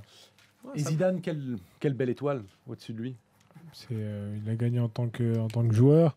Euh, il était sur le, sur le banc avec Ancelotti en tant qu'assistant. Il a gagné. Il est parti avec, euh, avec euh, l'équipe des jeunes. La Castilla. Ils, ils ont rien fait. Il est venu en tant que coach en plein milieu de saison alors que franchement on avait très très mal commencé et au final il gagne la Champions League. Là c'est l'entraîneur qui, a le plus de points après 13 journées euh, depuis je ne sais combien d'années au Real. Non, c'est son club, c'est fait pour lui. Là, on sent le vrai supporter. Et Parce qu'il dit on quand il parle du Bien Real sûr, Madrid. j'ai Eh dit oui. on à la Madrid. Il est même copain avec le fiston. C'est vrai, qui a Ouais. marqué son premier but il y a quelques semaines, évidemment, pour son premier match euh, sous les couleurs du Real Madrid. On a entendu les chansons pour Dimitri Payet, pour Zlatan Ibrahimovic, pour Antoine Griezmann. Si je vous fais écouter ça, Tony.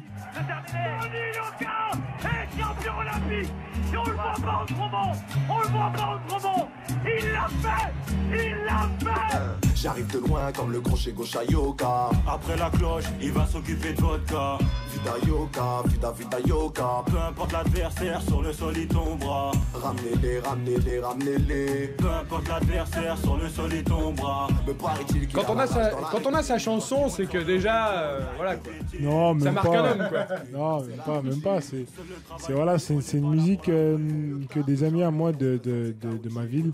De Chanteloup-les-Vignes. Ouais, de Chanteloup-les-Vignes Le fait. groupe euh, chaotique. m'ont fait av- avant de partir au JO.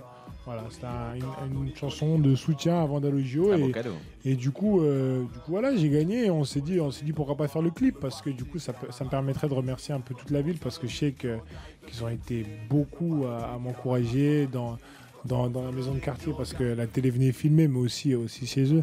Donc donc voilà, je voulais. euh, je voulais faire quelque chose, un clip avec tout le monde. Donc il y avait, il y avait vraiment, vraiment, vraiment tout le monde. Des gens de ma génération, des anciens, il y avait mes parents, il y avait des jeunes, il y avait. C'est vraiment, ce jour-là, c'était, c'était une très, très grande fête. Voilà, le groupe chaotique hein, autour de Saïd le manager. Il y a Fessal et Ahmed. Et Fessal est avec nous. Salut Fessal. Salut. Il y a Tony et Estelle qui sont en studio. Ah, bah voilà, vrai. vous êtes avec eux pour ce 1er janvier 2017. C'est eux les champions RTL euh, Sport 2016 et on voulait euh, faire euh, ce clin d'œil à cette belle chanson. Ouais, mon gars. Comment va, gros? Ah, On a RTL, hein, je savais pas que t'étais là. Vous étiez à l'école ensemble? Ouais, on était en CP ensemble. On était en CP ensemble avec. euh, tu te rappelles du nom de la maîtresse? Chapillon, Chapillon, madame. Madame Chapillon. ah non. Ah, c'est elle qu'on aurait dû appeler, Ouais, hein. on, On lui dit bonjour, hein. on dit, on dit bon, un grand bonjour à Madame Chapillon. On était. Ouais, c'est vrai qu'on était. Euh. C'est c'est des sacrés souvenirs. On est tombé sur, euh, sur la- notre photo de classe de CP il y a quelques temps. Et, euh, il y a des dossiers dessus. quand même. Oh, on va faire des recherches. nous, Je hein. sais- Ça je nous sais que- intéresse. Ouais, c'est ça. Je sais que Karim voudrait la photo. Fessal Tony. Ouais. Ah, Tu te rappelles des coups de cahier sur la tête Ah, Qu'elle mettait C'était qui la maîtresse La maîtresse, elle mettait des coups de cahier Ah, que compliqué. Tony hein. faisait des bêtises, Tony. Je faisais un petit peu de bêtises. c'était Un petit peu... Vous étiez turbulent. Non, j- je bavardais beaucoup en fait. Il a appris à esquiver beaucoup plus tôt que prévu. C'est ça. Et c'est comme ça qu'il a C'est grâce travaillé. à la prof, c'est grâce à Madame Chapillon que qui vient maintenant. Ah, c'était eh, c'était la meilleure prof, madame Chapillon, elle était gentille. Non, franchement, un gros, gros, gros bisou à Madame Chapillon. Ouais, gros à elle. Bon, Fessal, vous êtes bien amusé, j'imagine, en faisant ce clip. Ouais, ouais, on était en... franchement, on s'est bien amusé. Euh, en plus, ça a fait profiter tout le monde, ça a fait plaisir à tout le monde. Même Tony, c'était un petit peu, un peu, euh, une sorte de retrouvaille. Ah, ça faisait longtemps que vous étiez pas vu ou... Non, non, non. C'est que c'est qu'en fait, j'ai euh, j'ai j'ai pas forcément l'occasion de, de voir tout le monde quand je passe à Chanteloup-les-Vignes, parce que je connais, je connais quand même à peu près tout le monde. Et euh, là, voilà, là, ce jour-là, euh, comme, euh, comme on devait faire le clip, tout le monde s'est donné rendez-vous au même moment, au même endroit, et, et ça m'a permis de revoir, de revoir vraiment beaucoup de gens et de, de, de partager ce moment, parce que Faisal, je le vois assez souvent. En plus, il habite Non, euh, on se voit souvent. De- dans le même bâtiment que ma sœur. Assez souvent, mais, euh, mais voilà, c'était l'occasion de, de partager tout ça avec les autres parce que Ouais. parce qu'on le, on le voulait. Ah, franchement, ce jour-là, grâce à ça, on a pu faire un jour de fête où toutes les générations ont pu, ont pu être ensemble et, et ça, ça n'a pas de prix. Franchement, super champion. Merci Fessal en tout cas d'avoir été avec nous pour cette Merci euh, Faisal, un gros big up à Faisal. Smirnov sur Ouais, YouTube, faut aller checker ça. 2016. Et à Madame Chapillon, on écoute quelques notes évidemment de cette belle chanson du groupe Chaotique. Droite, tu percutes, c'est la routine. Seul le travail paye, on n'est pas là pour la frime. mieux tard que jamais, on se présente, c'est chaotique. Gauthier car on te soutient, t'es l'étoile de la street. Tony Yoka, Tony Tony Yoka, Tony Yoka, Tony Tony Yoka, Tony Yoka, Tony Tony Yoka. Peu importe l'adversaire, sur le sol il tombera. Me paraît-il qu'il a la.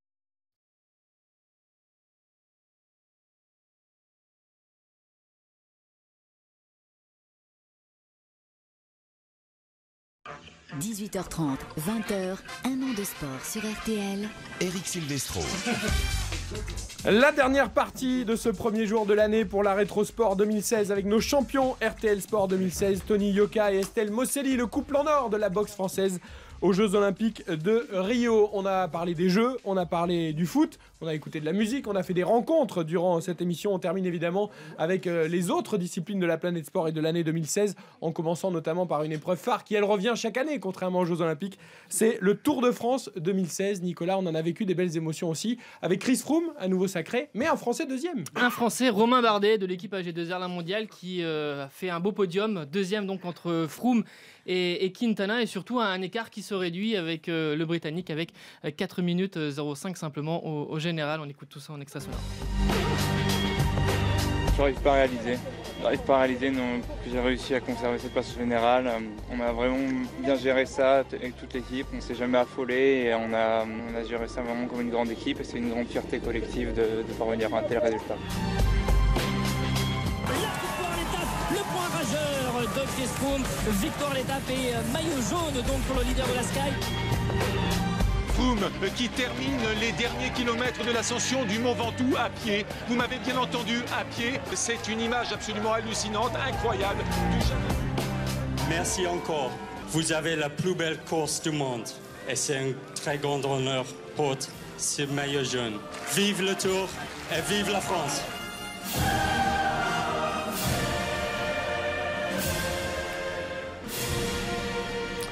Voilà les beaux moments pour Christopher Froome, parce que Tony Yoka m'a chambré pendant le- l'extrait sonore, parce que j'ai dit Chris Froome. J'aurais dû mieux articuler. C'est bizarre. Vous avez vu, je m'auto-flagelle, au moins je suis sûr de ne pas avoir de sanctions après. hein. C'est moins violent, c'est beaucoup plus simple. Romain Bardet, franchement, c'est une vraie perf, Nicolas, il faut le mettre vraiment en avant. Oui, et puis euh, sa deuxième à, à 25 ans, ça ouvre euh, de belles perspectives. Il fait partie de toute cette euh, génération euh, montante et comme il le dit, euh, voilà, il est dans le, dans le match avec euh, le Britannique. Je vois que je suis, dans, je suis dans le match pour me battre pour le maillot jaune. Chris Froome est encore bien sûr meilleur que moi là, est très bien entouré, mais, euh, mais avec des circonstances de course et en sautant, en essayant de courir avec spontanéité et détermination, tout peut se passer et rien n'est écrit à l'avance pour les années futures. Je note quand même que Romain Bardet, qui le voit tous les jours, hein, Chris Froome, il dit quand même aussi Chris Froome. Donc euh, ça, me- Oui. ça me rassure un peu. Euh, Chris Froome qui visera peut-être une 3. Là, c'était la troisième victoire. hein. Troisième, oui, comme euh, nous ont groupé par exemple, et, et- et Greg Lemon, et euh, effectivement qui surtout va aller sans doute titiller le, le record de, de 5 victoires détenues notamment par Bernard Hinault ou encore Eddy Merckx. Il reste encore un petit peu de chemin, mais c'est quelque chose qui- qu'il a dans la tête. Et c'est vrai que cette image hein, décrite par Christian Olivier en direct sur RTL de, de Christopher Froome, justement, C'est un petit peu emballé, c'est pas quelques kilomètres, il a juste fait Ouais. 100 mètres, mais. Ouais, mais c'est beaucoup hein, déjà. Quand on a les chaussures de vélo. Quand il a couru à pied parce que son vélo était. euh, Ouais. D'accord. Franchement. euh, Non, mais en chaussures Non, avec mais les c'est pieds, c'est pas euh, évident. c'est beau. Ouais. Après, après c'est vrai que bon, les médias ils aiment bien jouer sur ça. Le mec il a, il a couru, il a fait 20 mètres. ouais, mais ça monte, hein. Ouais, Ah, ouais, grimpe, ouais, hein. d'accord. Non, mais ils ont, ils ont montré ça comme s'il avait fait euh, 20 km. C'était le nouveau. euh, Ah, ces médias, Bah, ils il, est, s'en- Ken- il est né au Kenya. hein, ils s'emballent mais toujours. ça, pour non, mais rien. c'est beau, c'est beau. Franchement, reste c'est beau. anecdotique, Quand Bon. j'ai vu ça, franchement, c'était c'était très très beau. C'était beaucoup plus plat, Milan-San Remo, mais quand même là Ah oui. aussi. Oui, c'est Quelle un belle événement. histoire française. Oui, c'est un événement. C'est la victoire euh, d'Arnaud Desmar. C'était au, au printemps et parce que ça faisait 19 ans qu'il n'y avait pas un coureur français à avoir gagné un monument du cyclisme. C'est quoi? C'est l'une des, des classiques les plus prestigieuses. Il y en a 5 au, au calendrier. Et euh, ça faisait 21 ans aussi qu'il n'y avait pas un Français au palmarès de, de Milan-San Remo. Le dernier, c'était qui? C'était Laurent Jalabert, le consultant euh, RTL. Et ça donnait lieu à un, un bel échange dans RTL en direct de l'équipe. J'ai encore du mal à, à réaliser. Voilà, c'est vrai qu'il y a des jours comme ça où des jours où tout sourit. Puis euh, bah, désolé à Laurent, mais euh, non, je pense Ah non, que- mais alors je te rassure de suite, moi, ça me fait énormément plaisir qu'enfin, euh, 21 ans après, un Français s'impose dans Milan-San Remo. Arnaud, ça a été euh, certainement la- la- une des plus belles victoires de ma carrière et qui m'a procuré la plus belle émotion. Tu t'en rappelleras très très longtemps, tu verras. Ça, c'est. euh, J'espère pour toi que ça n'est qu'un passage, que d'autres grandes victoires vont s'enchaîner à partir de maintenant. J'espère aussi, merci. Oui. Laurent Jalabert avec Arnaud Desmar. Vous étiez en train de dire, Tony Yoka, que vous aviez le poster de Laurent Jalabert? Ouais, poster à l'orange à la berre avec son maillot à poids. Parce qu'il aimait, euh, et s'il aimait ça. Et donc vous regardiez le Tour de France Non, et tout je regardais le Tour de France et on allait, on y allait. euh, Bon, venez nous bah voir nous, l'année en fait, prochaine on, allait- alors. on allait souvent en vacances euh, en Normandie, c'était en Normandie et il passait pas très loin. Après, je sais plus où, hein, j'étais tout petit. Vous suiviez la euh, caravane et tout. On attendait, on attendait avec impatience euh, la caravane. on bonbons, attendait pendant longtemps. J'étais des bonbons, des stylos, des pinces. Il y avait des, des, euh, des sortes de pièces pour mettre dans les caddies. Tu, vois, tu prends tout. non. Non, mais tu prends de tout. prends tout, tu prends Et- après, ça arrive d'un seul coup, ça passe. T'as pourquoi euh, 10 secondes, tout le peloton passe et puis tu rentres. Ah, puis c'était déjà le plus grand, donc il a attrapé tout t'es avant tout le content, monde. t'es content. hein. Excellent. Ah, Le poster de Laurent Jalabert avec le maillot à poids Laurent rouge, ça c'est Jalabert, maillot à poids. collector hein, quand même. Ouais, beau, Du beau meilleur grimpeur. Ouais, du meilleur grimpeur. Bah oui, forcément. Vous aviez d'autres posters comme ça, d'autres disciplines ou? Non, j'ai- après, j'avais beaucoup le foot. hein. Il y avait beaucoup le foot. euh, J'avais euh, quelqu'un qui est devenu un ami à moi. Ça m'a fait vraiment euh, bizarre d'ailleurs. C'est euh, Sylvain Wiltord. J'étais euh, j'étais super fan de, de- de Sylvain. Euh, le jour où, où la France a joué l'Italie, euh, quand Sylvain rentre. L'Euro père- 2000 Ouais. Alors, L'Euro 2000, quand Sylvain rentre, mon père me dit Tu vas voir, lui il va marquer. Et euh, deux minutes après, même pas, hein, il marque. Hmm. Et truc de fou. Donc, euh, comme mon père s'appelle Victor, mon deuxième prénom c'est Victor, j'étais petit, je me dis Ouais, c'est un bon joueur, ça fait un peu comme moi. Donc, euh, Mec, donc, ouais, vrai, non, mais j'essaie de trouver, j'essaie de trouver des points communs. Karim Mais, mais ton père, il a des dons divinatoires parce qu'il dit. Ah, franchement, il a dit. Il t'a annoncé que t'allais être champion olympique. Il marque à l'Euro. Il m'a dit, euh, j'avais. Bon, ça c'est encore plus fort. J'avais même pas 8 ans. Il me dit, tu seras champion olympique en 2016. Je suis champion olympique. Il peut pas nous donner les numéros de l'euro million, non Quelque chose comme ça. Franchement, Bon, on est content hein, qu'il voit que vous soyez champion olympique. jouer, mais- parfois, il devrait jouer. Qu'est-ce qu'il a annoncé pour 2017, ton père? Ah, pas grand chose. ça, me- ça- ça me fait peur. je me dis peut-être que je sais pas, c'est Death Note. là, ma vie s'arrête là. Estelle, vous aviez des posters aussi dans votre chambre, vous, ou pas du tout? Ou peut-être pas de sport d'ailleurs Ouais, non, pas de sport, ouais. Des chanteuses Oh, il y a des dossiers. Je- Pourquoi- Non, il n'y a pas de dossier. Pourquoi il y aurait Bah alors des dossiers noms, des noms, on veut des noms, on veut imaginer ces, ces posters dans c'est la notre époque, Willy Ouais. Denzel. voilà, c'est ce qu'on peut aimer quand on est, quand on est jeune. Ado hein. Ado, ouais. Les stars un peu. Ouais, les stars du moment. Ah, mais à l'époque, c'était différent. Ouais, c'était cool avant. C'était quoi l'émission déjà qui passait euh, Mais il y avait tout euh, avant. samedi, je crois, samedi ou dimanche, une émission de musique, Charlie Lulu. Ah ouais, Ah ouais S'il fan quelque chose. Le Hit Machine, me dit Grégory Machine, Hit Machine, c'était mais c'était magnifique. Et juste après, il y avait Fan 2. Ouais. Ah ouais, non, on avait une belle époque. De toute façon, parce que vous aviez l'image un peu du Playboy, Golden Boy qui Ah viennent tout oui. là, vous allez passer pour le ringard Ouais, dans deux minutes. hein. Ah, c'était avant, hein, tout le monde aimait. C'était sympa, Charlie. Willy Denzel, c'était bien. Bah évidemment. C'était l'époque de Christophe Dominici, vous croyez ou pas, euh, Willy Denzel cas, on, c'est en on reparlera tout à l'heure avec Christophe Dominici quand on évoquera le rugby. Euh, on va parler de, de Martin Fourcade d'abord parce que c'est l'un des champions aussi de cette année Ouais. euh, 2016, hein, le biathlète français qui vient d'attaquer d'ailleurs il, y a- il y a quelques temps euh, sa saison 2016-2017. Euh, Martin Fourcade, c'est vainqueur de la Coupe du Monde. Euh, Jean-Michel Rascol, c'est 4 médailles d'or et une médaille d'argent au championnat du monde. Lui aussi, il survole sa discipline. Il n'y a qu'un souci, c'est que ses exploits, il les fait en début d'année. Et malheureusement, lorsque les journalistes du monde entier, en tout cas ceux du service des sports, votent pour le champion de l'année, on s'en souvient pas. Eh C'est bien, trop faut- tôt. Voilà, c'est trop tôt. faut remettre ça dans son contexte. C'est un champion majuscule. Ouais, euh, vainqueur évidemment du 20 km, du sprint, de la poursuite, du relais mixte euh, au championnat du monde à Oslo en Norvège et deuxième de la Mastart, plus la Coupe du Monde. Il faut le souligner parce que ça, c'est la régularité sur toute la saison. Écoutez Martin Fourcade après euh, sa quatrième médaille d'or au Mondiaux. Je retiens vraiment la joie de ces quatre titres, euh, les émotions vécues, la combativité, parce que c'est pas facile de se réinventer, de, de repartir dans la compétition une fois qu'on a gagné. Et je retiens aussi le, le bonheur d'avoir partagé ces émotions, d'avoir fait euh, découvrir le biathlon à beaucoup de monde, et ça c'est c'est une grande fierté. Ouais, lui aussi s'exprime d'ailleurs très bien. On parlait tout à l'heure des sportifs hein, qui s'expriment extrêmement bien. Ça, c'est un sport ingrat aussi. hein, euh, Il faut y aller. hein, Il faut, faut pousser sur les skis. Il fait froid, c'est dur. Il faut s'entraîner au tir. C'est un sport très complet aussi, hein, Tony. On le fait une fois par an, nous, le ski de fond avec, avec la boxe. On part euh, un peu plus de 10 jours euh, dans une station de ski et on fait du ski de fond tous les matins. C'est. Cache ta joie. Ouais, Ouais. c'est vrai, Estelle, pour vous aussi, c'est un calvaire? C'est dur. Nous, on le, fait, on le fait beaucoup moins, mais moi qui ai déjà fait du ski de fond, euh, c'est vrai que c'est dur. Déjà qu'il fait, il fait froid. on a moins d'oxygène là-haut. On commence par le commencement, Et, il fait euh, froid. Il y a moins d'oxygène là-haut, les efforts sont plus longs que ce qu'on a l'habitude faut de faire. C'est pas ludique, enfin, il n'y a pas de jeu, il n'y a pas Ouais. de. Il n'y a Ouais, pas c'est de ça, jeu à, c'est à vraiment part faut- quand En il y a biathlon, il y a quand même la euh, carabine, ça va. Vraiment y a avoir pas une, de euh, jeu, ouais. des- un sacré objectif. Mais Mm. c'est ce genre de champion-là qui, euh, pas qui me fait rêver, mais euh, que je respecte énormément, comme, comme t'es dit, parce que c'est des mecs qui, euh, malgré le fait qu'ils gagnent tout le temps, eh ben, ils vont chercher d'autres objectifs. Ils vont chercher plus loin. Ils, euh, ils, euh, voilà, ils se fixent d'autres choses et ils sont capables de repartir à l'entraînement alors qu'ils sont euh, tout en haut. Et aujourd'hui, quand je vois des mecs comme ça, moi, ça me pousse à continuer, à aller chercher plus loin, à vouloir marquer l'histoire de mon sport, à battre des records. Parce que parce qu'à la base, je me suis dit, bon, une fois que tu gagnes, c'est bon. Une fois que tu es en haut, bah, tu n'as plus forcément la motivation de, retourner à l'entraînement. Que non, eux, c'est des mecs qui te, qui te motivent parce que tu vois que malgré le fait qu'ils soient, je sais pas combien de fois champion du monde, bah, ils sont toujours là. hein. C'est des périodes que vous appréciez ou vraiment qui sont des périodes difficiles, les, prépa- les préparations foncières comme ça, où, on, où l'avant-saison, où on travaille dur, où physiquement on fait la caisse peut-être pour le, pour le reste de l'année. Euh, Il y en a qui aiment, il y en a qui aiment pas du tout. Vous êtes dans quelle, euh, dans quelle catégorie tous les deux? Moi, je trouve ça dur. je trouve ça dur. On est content en fait quand on termine l'entraînement, mais pendant l'entraînement, on souffre quand même. hein. C'est dur maintenant, on sait qu'on est obligé de passer par là. Ouais, c'est l'étape obligatoire. Euh, T'es pas content Moi je suis content parce que une fois que la, la, la, la- la semaine euh, de fond ou les deux semaines de fond sont finies, je me dis voilà, je l'ai fait et euh, je sais que ça va payer pour, euh, pour Qu'est-ce la que vous devez compétition. travailler le plus physiquement? Ça dépend en fait, on a des périodes. Mm. Quand on est à peu près trois mois de la compète, euh, on travaille vraiment le fond. Là, c'est des longs footings, des longs, euh, c'est des longs entraînements en fait. C'est c'est très très long. On fait des longs footings, force. ouais. muscu force. euh, tu fais des, euh, au lieu de faire 3 rounds de sac, tu vas en faire 6, 7, 8. Tu vas faire euh, 10, 12 rounds de sparring alors que des fois tu en fais que 3. Donc c'est vraiment très très long tout ce que tu fais. C'est c'est des entraînements qui durent plus de 2 heures.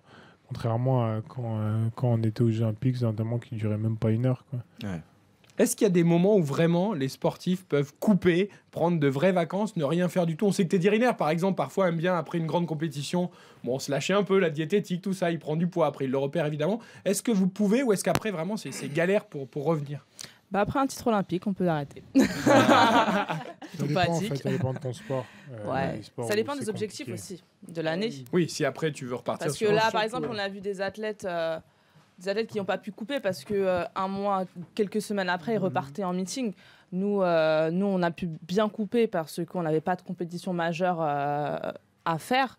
Mais ça dépend du calendrier, ça dépend du sport. Moi, je ouais, pense que moi, ça je dépend du sport parce pas que trop d'accord avec ça. Nous, euh, nous, les boxeurs, voilà, on boxe pas tout le temps.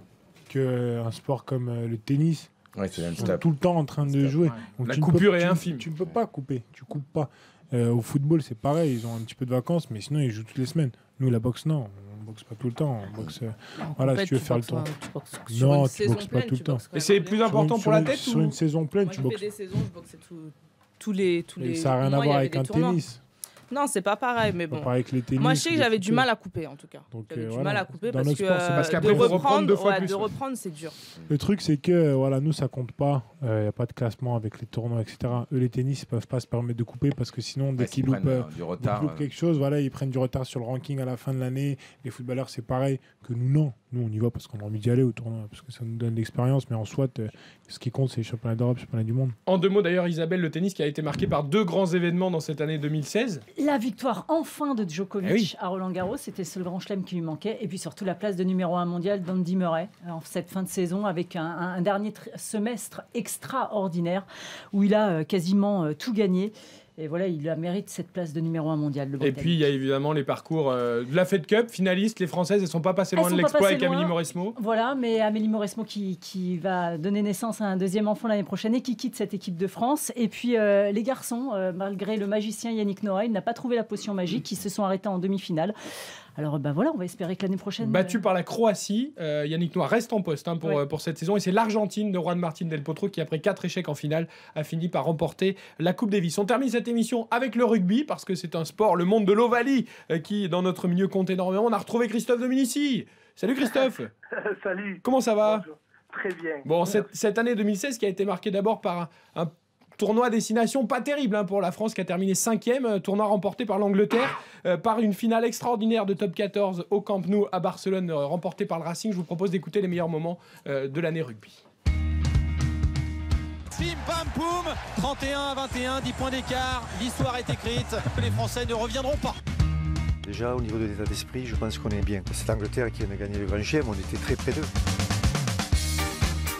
c'est exceptionnel, ça fera partie certainement des finales d'anthologie. Victoire du Racing 29-21 Moi j'ai des étoiles dans la tête là, je suis un petit peu en, évitation.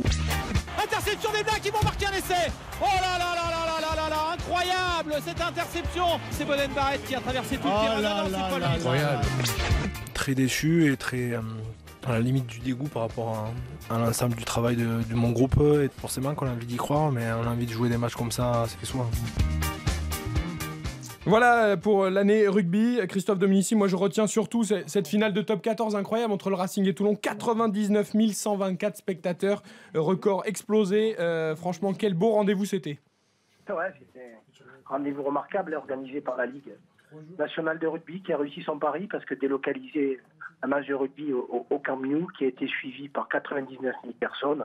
Puis un dénouement euh, exceptionnel, hein, assez unique, puisque les Racingman sont à 14 au bout de 20 minutes de jeu. On pense que le rugby club toulonnais va remporter cette finale. Et là, sur l'état d'esprit, les valeurs du rugby, les copains du Racing sont allés chercher cette finale euh, avec un match d'anthologie. Ouais, vous avez entendu euh, notamment le président Jackie Lorenzetti, vous avez également entendu Guy Noves, hein, c'est aussi le nouveau sélectionneur des Bleus. Euh, Il y a eu cette tournée d'automne il n'y a pas très longtemps avec ses matchs contre l'Australie et contre les All Blacks. Guy Noves qui est en train petit à petit d'installer son style. Est-ce qu'on le verra au tournoi 2017 La France n'a plus gagné depuis 2010, Christophe. hein. Ouais, alors le, le tournoi débute pas forcément très bien puisqu'on va en Angleterre. Et euh, ça va être, euh, je pense, un match charnière pour, pour l'ère Guinoves. Parce que c'est vrai que quand on attend ce qu'il dit, qui sont très proches des Anglais, mais on finit encore quasiment dans les bas-fonds du, du tournoi, on est très proche, mais on n'arrive pas à les battre. On fait une tournée de novembre sur euh, un niveau de rugby et un jeu assez, assez intéressant, mais on ne gagne toujours pas. C'est-à-dire on, se rapproche des plus grandes nations, on arrive à rivaliser sur le jeu, et quand il faut concrétiser, quand il faut gagner les matchs, eh ben, on a encore un peu de mal. D'accord, bon ben on va surveiller cette équipe de France, en tout cas qui aura des déplacements difficiles hein, en Irlande, euh, en Angleterre. On commence par l'Angleterre, Pour ouais. ce tournoi destination, ça va être compliqué. Le rugby, vous suivez un peu tous les deux aussi ou non Vraiment foot, Tony? On a bien compris que le Moi, foot c'est c'était. vraiment foot, euh, c'est foot, mais, euh, mais je regarde, en fait, je suis très très, moi je suis patriote, donc euh, si l'équipe de France joue, euh, bon, je regarde. Donc notamment le volet aussi, vous avez suivi le volet quand Suivi ils ont gagné la Ligue mondiale? Bien sûr, non, mais j'étais à fond derrière le volet. Vous savez que vous êtes les champions RTL Sport 2016, Estelle Mosselli et Tony Yoka. L'année dernière, c'était l'équipe de France de volley justement qui avait remporté ce trophée. Le sélectionneur des Bleus, Laurent Tilly, est avec nous. Salut Laurent. Bonsoir. C'est l'heure du passage de témoin, Laurent. Ah ben oui, hein. Ouais, ouais, faut le lâcher. hein. Faut lâcher le trophée. hein. Non mais là, là, c'est vraiment sympa de le lâcher dans ces conditions-là, quoi. Vous, êtes- vous êtes bien suivi au palmarès. Oui, oui, exactement. Et Très bien suivi. C'est vrai qu'ils nous ont fait vibrer euh, pendant les Jeux. euh, c'est vrai que c'était une année euh, magnifique. Et voilà. Et on passe le relais. Bon, Christian Olivier, de toute façon, le chef des sports, vous l'a déjà arraché ce trophée. Il est avec nous en studio, évidemment. Euh, il va distribuer euh, les trophées à Estelle Mosselli et Tony Yoka. Bonsoir Laurent, vous en avez bien profité de ce trophée toute l'année? Magnifique. ouais. C'était, D'accord. euh, beaucoup de responsabilités, beaucoup de fierté. Et ça nous a permis aussi de d'assumer nos responsabilités. Très bien. En tout cas, d'essayer. Au nom de, de RTL France, première radio de France, au nom du service des sports, qui est donc le premier service des sports de France, euh, c'est avec beaucoup de plaisir, Tony Yoka, Estelle Mosselli, qu'on vous remet, c'est là une grande première, euh, un double trophée. En général, c'est un sportif, une sport, un sportif, une sportive, donc double trophée. Bah, grand non, mais plaisir. les voleurs, ils en ont eu combien Grand plaisir parce que vous nous avez fait plaisir, mais c'est toute l'équipe de France de boxe, et vous l'avez souligné effectivement, qui nous a fait euh, plaisir. Un grand honneur également parce que vous avez porté haut les couleurs de l'équipe de France olympique. Et puis une grande fierté de vous remettre ce trophée également. La fierté également que vous transmettez auprès de toutes les écoles de boxe, tous les gamins qui euh, s'identifient à vos performances, qui boxent désormais, qui découvrent ce sport. Euh, tout simplement, on pense aussi à tous ces gamins, que ce soit à Paris, en Ile-de-France et aux quatre coins, bien sûr, euh, de la France et de, de- de- des îles, le plus loin possible, bien évidemment. Donc bravo, félicitations, trophée RTL Sport 2016. Je vous le remets, Estelle Mosselli. Merci. Et donc, trophée. RTL Sport 2016, Tony Yoka.